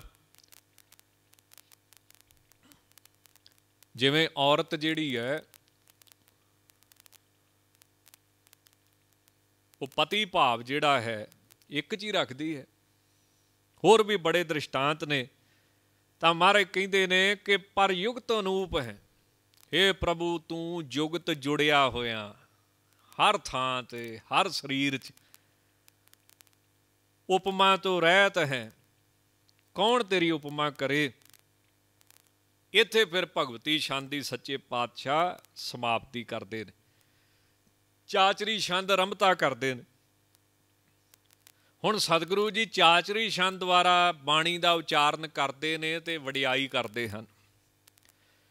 ਅਭੰਗ ਹੈ, ਅਨੰਗ ਹੈ हे ਅਕਾਲ ਪੁਰਖ ਤੂੰ ਅਭੰਗ ਨਾਸ ਤੋਂ ਰਹਿਤ ਹੈ। ਤੇ ਅਤਿਅੰਤ ਹੀ ਅਨੰਗ ਹੈ ਸੁੰਦਰ ਸਰੂਪ ਵਾਲਾ। ਅਨੰਗ ਕਹਿੰਦੇ ਜਿਹੜਾ ਬਹੁਤ ਸੋਹਣਾ ਹੋਵੇ। ਕਾਮਦੇਵ ਨੂੰ ਸਭ ਤੋਂ ਸੋਹਣਾ ਮੰਨਿਆ ਗਿਆ ਹੈ। ਪਰ ਪ੍ਰਮਾਤਮਾ ਦੀ ਜਿਹੜੀ ਸੁੰਦਰਤਾ ਹੈ, ਉਹ ਮਨ ਸ਼ਾਂਤ ਕਰਦੀ ਹੈ। ਦੁਨਿਆਵੀ ਸੁੰਦਰਤਾ ਮਨ ਨੂੰ ਉਪਰਾਮ ਕਰਦੀ ਹੈ। ਸ਼ਾਂਤ ਤੇ ਉਪਰਾਮ 'ਚ ਬੜਾ ਫ਼ਰਕ ਹੈ। ਅਨੰਗ ਅਤਿਅੰਤ ਹੀ ਸੋਹਣਾ। ਤੇ ਗੁਰਬਾਣੀ ਵਿੱਚ ਲਿਖਿਆ ਵਾ, ਅਤ ਪ੍ਰੀਤਮ ਮਨ ਮੋਹਨਾ, ਘਟ ਸੋਹਣਾ ਪ੍ਰਾਨ ਆਧਾਰਾ RAM ਮੇਰਾ ਸੁੰਦਰ ਸੁਆਮੀ ਜੀ ਹੋਂ ਚਰਨ ਕਮਲ ਪਗ ਸ਼ਾਰਾ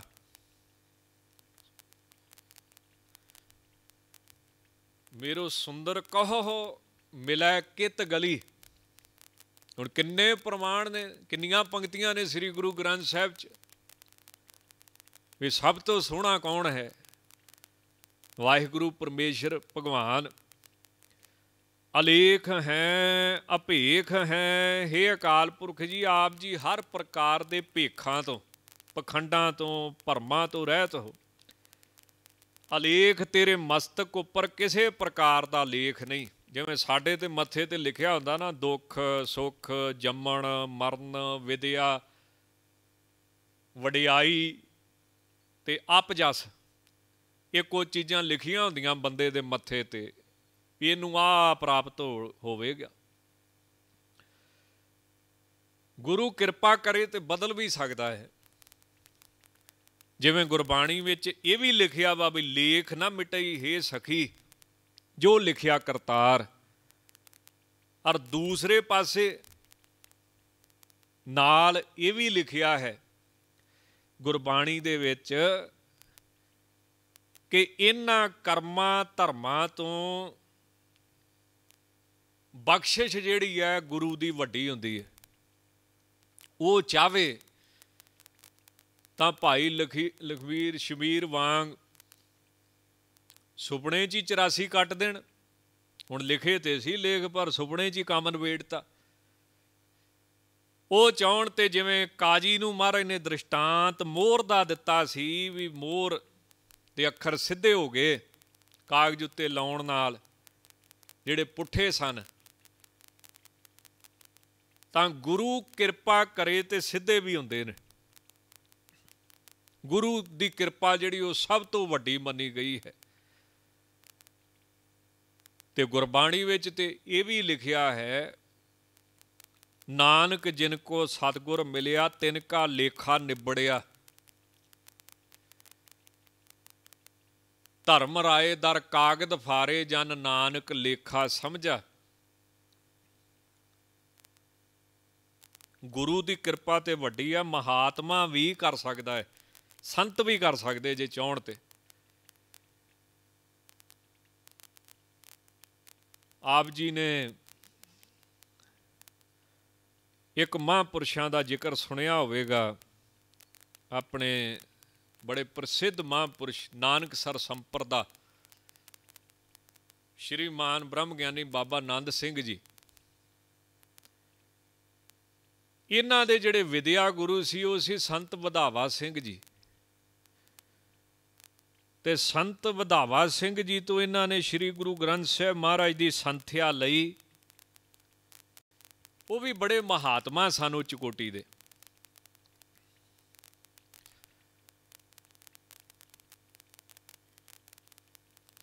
ਇੱਕ ਵਾਰ ਸੰਤ ਵਧਾਵਾ ਸਿੰਘ ਜੀ ਪਾਸ ਬਾਬਾ ਜੀ ਗਏ, ਤਾਂ ਸੰਤ ਵਧਾਵਾ ਸਿੰਘ ਜੀ ਨੇ ਬੜੇ ਸੋਹਣੇ ਬਚਨ ਬਾਬਾ ਆਨੰਦ ਸਿੰਘ ਜੀ ਦੇ ਪ੍ਰਤੀ ਕੀਤੇ ਕਿ ਤੁਹਾਡੀ ਕਮਾਈ ਵੱਡੀ ਆ। ਤੁਹਾਡੇ ਤੇ ਕਿਰਪਾ ਗੁਰੂ ਨਾਨਕ ਦੇਵ ਸਾਹਿਬ ਦੀ ਵੱਡੀ ਆ। ਠੀਕ ਹੈ, ਤੁਸੀਂ ਵਿਦਿਆ ਮੇਰੇ ਤੋਂ ਪੜ੍ਹੇ ਹੋ, ਪਰ ਕਮਾਈ 'ਚ ਤੁਸੀਂ ਵੱਡੇ ਹੋ। ਮਹਾਤਮਾ ਕਿਹੜੇ ਹੁੰਦੇ ਜਿਹੜੇ ਨਿਮਰਤਾ ਦੇ ਧਾਰਨੀ ਨੇ?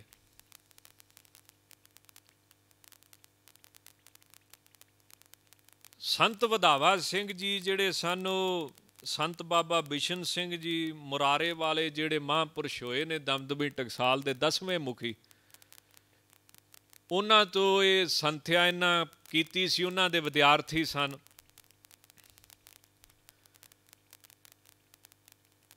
ਤਾਂ ਬਾਬਾ ਆਨੰਦ ਸਿੰਘ ਜੀ ਜਿਹੜੇ ਮਹਾਤਮਾ ਮਹਾਪੁਰਸ਼ ਸਨ ਨਾਨਕਸਰ ਸੰਪਰਦਾਏ,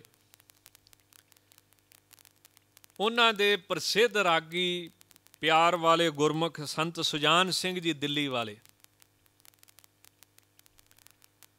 ਜਿਹੜੇ ਬੜੇ ਹੀ ਪ੍ਰੇਮ ਤੇ ਵਿਰਾਗ ਦੇ ਨਾਲ ਉਹਨਾਂ ਦੀ ਪਾਸ ਕੀਰਤਨ ਕਰਦੇ ਤੇ ਮਹਾਪੁਰਸ਼ ਬੜਾ ਪ੍ਰੇਮ ਕਰਦੇ, ਕੀਰਤਨ ਬੜਾ ਪ੍ਰੇਮ ਨਾਲ ਸੁਣਦੇ ਉਹਨਾਂ ਦਾ। ਤੇ ਸੰਤਾਂ ਦੀ ਹਜ਼ੂਰੀ ਕਰਕੇ ਫਿਰ ਜਿਹੜਾ ਕੀਰਤਨ ਸੰਤਾਂ ਦੀ ਹਜ਼ੂਰੀ 'ਚ ਜਿਹੜੀ ਕਥਾ ਹੁੰਦੀ, ਉਹ ਆਮ ਨਹੀਂ ਹੁੰਦੀ। ਉਹਦਾ ਫ਼ਰਕ ਹੁੰਦਾ ਦੂਸਰੀ ਕਥਾ ਕੀਰਤਨ ਸੇਵਾ ਸਿਮਰਨ ਤੋਂ।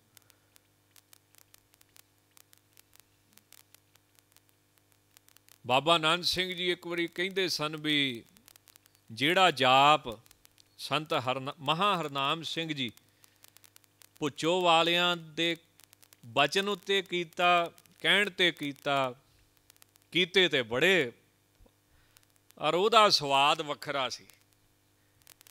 ਉਹਦਾ ਰਸ ਵੱਖਰਾ ਸੀ, ਕੀਤੇ ਤੇ ਬੜੇ, ਸਾਰੀ ਉਮਰ ਹੀ ਕੀਤੇ। ਪਰ ਉਹ ਸਵਾਦ ਹੋਰ ਸੀ ਜਿਹੜਾ ਮਹਾਂਪੁਰਸ਼ਾਂ ਨੇ, ਰੋਮੀ ਵਾਲਿਆਂ ਨੇ ਪੁੱਛੋ ਮੰਡੀ ਵਾਲੇ, ਮਹਾਂਪੁਰਸ਼ਾਂ ਨੇ ਕਰਾਇਆ ਆਪ ਕਿਰਪਾ ਕਰਕੇ। ਤਾਂ ਸੰਤ ਸੁਜਾਨ ਸਿੰਘ ਜੀ ਜਿਹੜੇ ਸਨ, ਉਹ ਮਹਾਤਮਾ ਲੋਕ ਬੜਾ ਸੁੰਦਰ ਕੀਰਤਨ, ਰਸ ਪਿੰਨਾ ਕੀਰਤਨ ਕਰਦੇ ਸਨ। ਉਹਨਾਂ ਨੂੰ ਲੈ ਕੇ ਸੰਤ ਵਧਾਵਾ ਸਿੰਘ ਜੀ ਪਾਸ ਗਏ। ਸੰਤ ਵਧਾਵਾ ਸਿੰਘ ਜੀ ਨੂੰ ਉੱਚਾ ਸੁਣਦਾ ਸੀ। ਉਹਨਾਂ ਜਦੋਂ ਵੱਡੇ ਵੱਡੇ ਰਵਾਬ ਵੇਖੇ ਨਾ ਤੇ ਉਹਨਾਂ ਆਖਿਆ ਵੀ ਇਹ ਕੀ ਆ? ਤਾਂ ਕਹਿੰਦੇ ਜੀ, ਇਹ ਰਬਾਬ ਨੇ ਵੱਡੇ ਵੱਡੇ। ਉੱਚੀ ਸੁਣਦਾ ਸੀ ਤਾਂ ਕੰਨ ਲਾਗੇ ਬਾਬਾ ਆਨੰਦ ਸਿੰਘ ਜੀ ਨੇ ਆਖਿਆ ਜੀ, ਇਹ ਰਬਾਬ ਨੇ ਵੱਡੇ ਵੱਡੇ। ਉਹ ਪੁਰਾਣੇ ਜਿਹੜੇ ਤੰਤੀ ਸਾਜ਼ ਹੁੰਦੇ ਸੀ, ਉਹ ਲੈ ਕੇ ਗਏ ਉਹਨਾਂ ਪਾਸ ਸਾਰੇ ਦਿਖਾਉਣ ਵਾਸਤੇ। ਤਾਂ ਸੰਤ ਵਧਾਵਾ ਸਿੰਘ ਜੀ ਕਹਿੰਦੇ, ਵਜਾਉਣੇ ਵੀ ਆਉਂਦੇ ਕਿਸੇ ਨੂੰ? ਕਈਆਂ ਨੇ ਮੇਰੇ ਵਰਗਿਆਂ ਨੇ ਉਹੀ ਸ਼ੋਅ ਵਾਸਤੇ ਫੋਟਾਂ ਖਿਚਾਉਣ ਵਾਸਤੇ ਵੀ ਅੱਗੇ ਰੱਖੇ ਹੁੰਦੇ ਨਾ, ਇਹ ਵਜਾਉਣੇ ਵੀ ਆਉਂਦੇ ਕਿਸੇ ਨੂੰ। ਉਹ ਕਹਿੰਦੇ ਜੀ, ਹਾਂ ਇਹ ਆਪਣੇ ਰਾਗੀ ਜੀ, ਸੰਤ ਸੁਜਾਨ ਸਿੰਘ ਜੀ ਵਜਾਉਣਗੇ। ਚਲੋ ਨਾ ਕੀਰਤਨ ਕੀਤਾ, ਬੜੇ ਪ੍ਰਸੰਨ ਹੋਏ। ਤਾਂ ਸੰਤ ਵਧਾਵਾ ਸਿੰਘ ਜੀ, ਬਾਬਾ ਆਨੰਦ ਸਿੰਘ ਜੀ ਨੂੰ ਕਹਿਣ ਲੱਗੇ ਵੀ ਇਹਨਾਂ ਨੂੰ ਕੀ ਸਰੂਪਾ ਦਈਏ, ਫਿਰ ਕੀਰਤਨ ਕੀਤਾ, ਕੀ ਭੇਟਾ ਦਈਏ? ਭੇਟਾ ਮਿਲਦੀ ਹੈ। ਬਾਬਾ ਆਨੰਦ ਸਿੰਘ ਜੀ ਬੜੀ ਸੂਖਸ਼ਮ ਬੁੱਧੀ ਦੇ ਮਾਲਕ ਸਨ। ਅਥਾ ਸ਼ਰਧਾ ਸੀ ਗੁਰਸਿੱਖਾਂ ਦੀ, ਮਹਾਂਪੁਰਸ਼ਾਂ ਦੀ। ਉਹਨਾਂ ਨੇ ਨਾਲ ਦੇ ਸਿੰਘਾਂ ਨੂੰ ਇਸ਼ਾਰਾ ਕੀਤਾ ਵੀ ਕਾਗਜ਼ ਲਿਆਓ। ਸੰਤ ਵਧਾਵਾ ਸਿੰਘ ਜੀ ਕਹਿੰਦੇ, ਸੰਤ ਸੁਜਾਨ ਸਿੰਘ ਨੂੰ ਕਿਹੜੀ ਭੇਟਾ ਦਈਏ? ਏਡਾ ਸੋਹਣਾ ਕੀਰਤਨ ਸੁਣਾਇਆ। ਤਾਂ ਬਾਬਾ ਨੰਦ ਸਿੰਘ ਜੀ ਨਾਲ ਦੇ ਸਿੰਘਾਂ ਨੂੰ ਕਹਿੰਦੇ, ਕਾਗਜ਼ ਲਿਆਓ ਤੇ ਕਾਗਜ਼ ਸੰਤ ਵਧਾਵਾ ਸਿੰਘ ਜੀ ਦੇ ਹੱਥ 'ਚ ਫੜਾ ਕੇ ਕਹਿੰਦੇ, ਮਹਾਰਾਜ, ਇਹਦਾ ਲੇਖਾ ਪਾੜ ਦਿਓ ਇਹ ਭੇਟਾ ਦਿਓ ਇਹਨੂੰ। ਹੁਣ ਇਹ ਭੇਟਾ ਕਿਸੇ ਨੇ ਮੰਗੀ ਕੀਰਤਨ ਕਰਨ ਤੋਂ ਬਾਅਦ, ਕਥਾ ਕਰਨ ਤੋਂ ਬਾਅਦ ਜਾਂ ਨਿਤਨੇਮ ਕਰਨ ਤੋਂ ਬਾਅਦ ਗੱਲ 'ਚ ਪੱਲਾ ਪਾ ਕੇ ਗੁਰੂ ਗ੍ਰੰਥ ਸਾਹਿਬ ਮਹਾਰਾਜ ਤੋਂ, ਇਹ ਕੋਈ ਵਿਰਲੇ ਹੀ ਮੰਗਣਗੇ। ਤਾਂ ਬਾਬਾ ਆਨੰਦ ਸਿੰਘ ਜੀ ਕਿੱਡੇ ਮਹਾਂਪੁਰਸ਼ ਹੋਣਗੇ? ਸੰਤ ਵਧਾਵਾ ਸਿੰਘ ਜੀ ਨੂੰ ਕਾਗਜ਼ ਫੜਾ ਕੇ ਕਹਿੰਦੇ, ਸੰਤ ਸੁਜਾਨ ਸਿੰਘ ਜੀ ਦਾ ਲੇਖਾ ਪਾੜ ਦਿਓ ਭੇਟਾ ਇਹ ਦਿਓ ਫਿਰ। ਤੁਸੀਂ ਪਾੜ ਸਕਦੇ ਹੋ ਹੱਸ ਪੇ ਖੜਖੜਾ ਕੇ। ਤਾਂ ਮਾਰੇ ਕਹਿੰਦੇ ਨੇ, ਧਰਮ ਰਾਏ ਦਰ ਕਾਗਦ ਫਾਰੇ ਜਨ ਨਾਨਕ ਲੇਖਾ ਸਮਝਾ। ਜਿੱਥੇ ਗੁਰੂ ਲੇਖ ਬਦਲ ਸਕਦਾ ਹੈ, ਉੱਥੇ ਰੱਬ ਦੇ ਪਿਆਰੇ ਵੀ ਜੇ ਚਾਹਣ ਤੇ ਲੇਖਾਂ ਤੋਂ ਰਹਿਤ ਕਰ ਦਿੰਦੇ ਹਨ, ਜੇ ਚਾਹਣ ਤੇ ਕਾਗਜ਼ ਪਾੜ ਦਿੰਦੇ ਹਨ, ਤਾਂ ਮਹਾਰਾਜ ਬੜੇ ਪ੍ਰੇਮ ਨਾਲ ਫਰਮਾਉਂਦੇ ਨੇ ਕਿ हे ਵਾਹਿਗੁਰੂ, ਆਪ ਅਲੇਖ ਹੋ, ਲੇਖਾਂ ਤੋਂ ਰਹਿਤ ਹੋ। ਆਪਣੇ ਪਿਆਰਿਆਂ ਨੂੰ ਵੀ ਦੁੱਖਾਂ ਸੁੱਖਾਂ ਦੇ ਲੇਖਾਂ ਤੋਂ ਧਰਮ ਰਾਜੇ ਦੇ ਲੇਖੇ ਤੋਂ ਰਹਿਤ ਕਰ ਦੇਣ ਵਾਲੇ ਹੋ। ਅਪਰਮ ਹੈ ਅਕਰਮ ਹੈ हे ਅਕਾਲ ਪੁਰਖ, ਹਰ ਪ੍ਰਕਾਰ ਦੇ ਅਪਰਮ ਭੁਲੇਖਿਆਂ ਤੋਂ ਰਹਿਤ ਹੋ। ਕੋਈ ਕਿਸੇ ਤਰ੍ਹਾਂ ਦਾ ਸ਼ੰਕਾ ਨਹੀਂ, ਸੰਸਾ ਨਹੀਂ।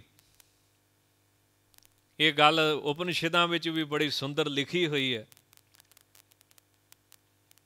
ਵੀ ਬ੍ਰਹਮ ਵੇਦ ਬ੍ਰਹਮੈਵ ਭਵਤੀ, ਨਾ ਅਸਿਆ ਬ੍ਰਹਮ ਵਿਤ ਕੁਲੇ ਭਵਤੀ ਤਰਤੀ ਸ਼ੋਕਮ, ਤਰਤੀ ਪਾਮਾਨਮ, ਗੋਹਿਆ ਗ੍ਰੰਥੀ ਭਇਓ ਵਿਮੁਕਤਾ ਅੰਮ੍ਰਿਤੋ ਭਵਤੀ। ਸਾਯੋ ਹਾ ਵਈ ਤਤ ਪਰਮ ਬ੍ਰਹਮ ਵੇਦ ਬ੍ਰਹਮਈ ਭਵਤੀ। ਜਿਨਨੇ ਇੱਕ ਵਾਰੀ ਰੱਬ ਨੂੰ ਪਾ ਲਿਆ ਉਹ ਰੱਬ ਹੀ ਹੋ ਗਿਆ। ਬ੍ਰਹਮ ਵੇਦ ਵੇਦ ਮੈਨੇ ਜਾਣਨਾ। ਬ੍ਰਹਮਈ ਭਵਤੀ ਜਿਨਨੇ ਪਰਮੇਸ਼ਰ ਨੂੰ ਪਾ ਲਿਆ, ਉਹ ਪਰਮੇਸ਼ਰ ਹੀ ਹੋ ਗਿਆ। ਉਹਦੀਆਂ ਕੁਝ ਨਿਸ਼ਾਨੀਆਂ ਨੇ ਕਿ ਉਹ ਕਹਿੰਦੇ ਸ਼ੋਕ ਨੂੰ ਤਰ ਜਾਂਦਾ ਵਾ, ਦੁੱਖ ਸੁੱਖ ਤੋਂ ਪਰੇ ਹੋ ਜਾਂਦਾ ਹੈ, ਜਿਨੇ ਰੱਬ ਨੂੰ ਪਾ ਲਿਆ। ਉਹ ਪਾਪਾਂ ਨੂੰ ਤਰ ਜਾਂਦਾ ਹੈ। ਚਿੱਤ ਜੜ ਗ੍ਰੰਥੀ ਉਹਦੀ ਖੁੱਲ ਜਾਂਦੀ ਹੈ। ਇੱਕ ਗੱਲ ਉਹ ਕਮਾਲ ਦੀ ਲਿਖਦੇ ਨੇ ਕਿ ਉਹਨਾਂ ਦੀ ਇੱਕ ਖਾਸੀਅਤ ਇਹ ਹੁੰਦੀ ਹੈ ਕਿ ਕਿਸੇ ਪ੍ਰਕਾਰ ਦਾ ਉਹਨਾਂ ਨੂੰ ਸ਼ੰਕਾ ਨਹੀਂ ਰਹਿ ਜਾਂਦਾ। ਉਹਨਾਂ ਦੇ ਹਿਰਦੇ 'ਚ ਹਰ ਪ੍ਰਕਾਰ ਦਾ ਸ਼ੰਕਾ, ਵਿਪਰਯ ਗਿਆਨ ਦੇ ਅਭਮਾਨ, ਵਿਸ਼ਿਆ ਸ਼ਕਤੀ ਜਿੰਨੀਆਂ ਗ੍ਰੰਥੀਆਂ ਨੇ ਸਭ ਤੋਂ ਛੁੱਟ ਜਾਂਦੇ ਨੇ। ਹੁਣ ਇੱਥੇ ਕਲਗੀਧਰ ਬੜਾ ਸੁੰਦਰ ਕਹਿੰਦੇ ਨੇ, ਆ ਭਰਮ ਹੈ। ਜਿੱਥੇ ਵਾਹਿਗੁਰੂ ਭਰਮ ਤੋਂ ਰਹਿਤ ਹੈ, ਉੱਥੇ ਉਹਦੇ ਪਿਆਰੇ ਵੀ ਭਰਮ ਤੋਂ ਰਹਿਤ ਨੇ। ਇਹ ਥੋੜੀ ਵੀ ਉਹਨਾਂ ਨੂੰ ਰੱਬ ਤੇ ਯਕੀਨ ਨਹੀਂ, ਕੋਈ ਸੰਸਾ ਨਹੀਂ, ਕੋਈ ਸਵਾਲ ਨਹੀਂ, ਸਭ ਉਹਨਾਂ ਦੇ ਸਵਾਲ ਮੁੱਕ ਜਾਂਦੇ ਨੇ। ਅਟੁੱਟ ਭਰੋਸਾ ਪਰਮੇਸ਼ਰ ਉੱਤੇ ਬਣ ਜਾਂਦਾ ਹੈ। ਐਸੀ ਕਿਰਪਾ ਉਹਨਾਂ ਤੇ ਹੁੰਦੀ ਹੈ ਜਿੱਥੇ ਵਾਹਿਗੁਰੂ ਭਰਮ ਤੋਂ ਰਹਿਤ ਹੈ ਆ ਭਰਮ ਹੈ। ਉੱਥੇ ਉਹਦੇ ਪਿਆਰੇ ਵੀ ਆ ਭਰਮੀ ਨੇ, ਭੁਲੇਖਿਆਂ ਤੋਂ ਰਹਿਤ ਨੇ, ਸੰਸਿਆਂ ਤੋਂ ਰਹਿਤ ਨੇ, ਕਿਸੇ ਤਰ੍ਹਾਂ ਦਾ ਸ਼ੱਕ ਨਹੀਂ, ਗੁਜਾਇਸ਼ ਨਹੀਂ। ਅਕਰਮ ਹੈ, ਕਿਸੇ ਵੀ ਕਰਮ ਦਾ ਤੇਰੇ ਉੱਪਰ ਪ੍ਰਭਾਵ ਨਹੀਂ। ਨਾ ਕਰਮ ਹੈ, ਨਾ ਭਰਮ ਹੈ ਨਾ ਧਰਮ ਕੋ ਪ੍ਰਭਾਵ ਹੈ, ਨਾ ਜੰਤਰ ਹੈ, ਨਾ ਤੰਤਰ ਹੈ, ਨਾ ਮੰਤਰ ਕੋ ਲਾਓ ਹੈ। ਅਨਾਦ ਹੈ, ਜੁਗਾਦ ਹੈ ਇਹ ਅਕਾਲ ਪੁਰਖ, ਤੇਰਾ ਕੋਈ ਆਦ ਨਹੀਂ। ਪਰੰਤੂ ਆਪ ਸਾਰੇ ਯੁਗਾਂ ਦੀ ਆਦ ਹੋ। ਹੁਣ ਇੱਥੇ ਕਾਦੀ ਵਿਆਖਿਆ ਆ ਗਈ? ਆਦ ਸੱਚ, ਜੁਗਾਦ ਸੱਚ। ਵੀ ਤੇਰਾ ਆਦ ਨਹੀਂ, ਪਰ ਤੂੰ ਯੁਗਾਂ ਦਾ ਆਦ ਹੈ। ਆਦ ਸੱਚ ਤੇ ਜੁਗਾਦ ਸੱਚ ਦੀ ਵਿਆਖਿਆ ਕਰਤੀ ਮਹਾਰਾਜ ਨੇ। ਅਨਾਦ ਹੈ, ਤੇਰਾ ਕੋਈ ਆਦ ਨਹੀਂ ਪਰ ਆਪ ਯੁੱਗਾਂ ਦੇ ਆਦ ਹੋ। ਜਦੋਂ ਸ੍ਰਿਸ਼ਟੀ ਸ਼ੁਰੂ ਹੋਈ, ਉਹਦੇ ਤੁਸੀਂ ਆਦੀ ਹੋ ਸਾਰੇ ਯੁੱਗਾਂ ਦੇ। ਸਭ ਯੁਗ ਤੇਰੇ ਕੀਤੇ ਹੋਏ, ਸਤਗੁਰ ਭੇਟੇ ਮਤ ਬੁੱਧ ਹੋਏ। ਅਜੈ ਹੈ, ਅਬੈ ਹੈ, ਅਜੈ ਕਹਿੰਦੇ ਨੇ, ਜਿਹੜਾ ਜਿੱਤਿਆ ਨਾ ਜਾਵੇ, ਜਿੰਨੂੰ ਵਕਾਰ ਪ੍ਰਾਪਤ ਨਾ ਹੋਣ ਇੱਕ ਰਸ ਰਵੇ। ਅਬੈ ਮੈਨੇ ਨਾਸ ਰਹਿਤ ਅਬਨਾਸੀ ਜਾਂ ਬੈ ਮੈਨੇ ਵੇਚਣਾ, ਖਰੀਦਣਾ, ਆ ਮੈਨੇ ਰਹਿਤ। ਜਿਹਦੇ ਪੈਸੇ ਤਾਰ ਕੇ ਤੂੰ ਖਰੀਦ ਨਹੀਂ ਸਕੇਗਾ ਜਿੰਨੂੰ। ਬੈ ਤੋਂ ਰਹਿਤ ਆਪਣੇ ਕਹਿ ਦਿੰਦੇ ਨਾ ਪੰਜਾਬੀ।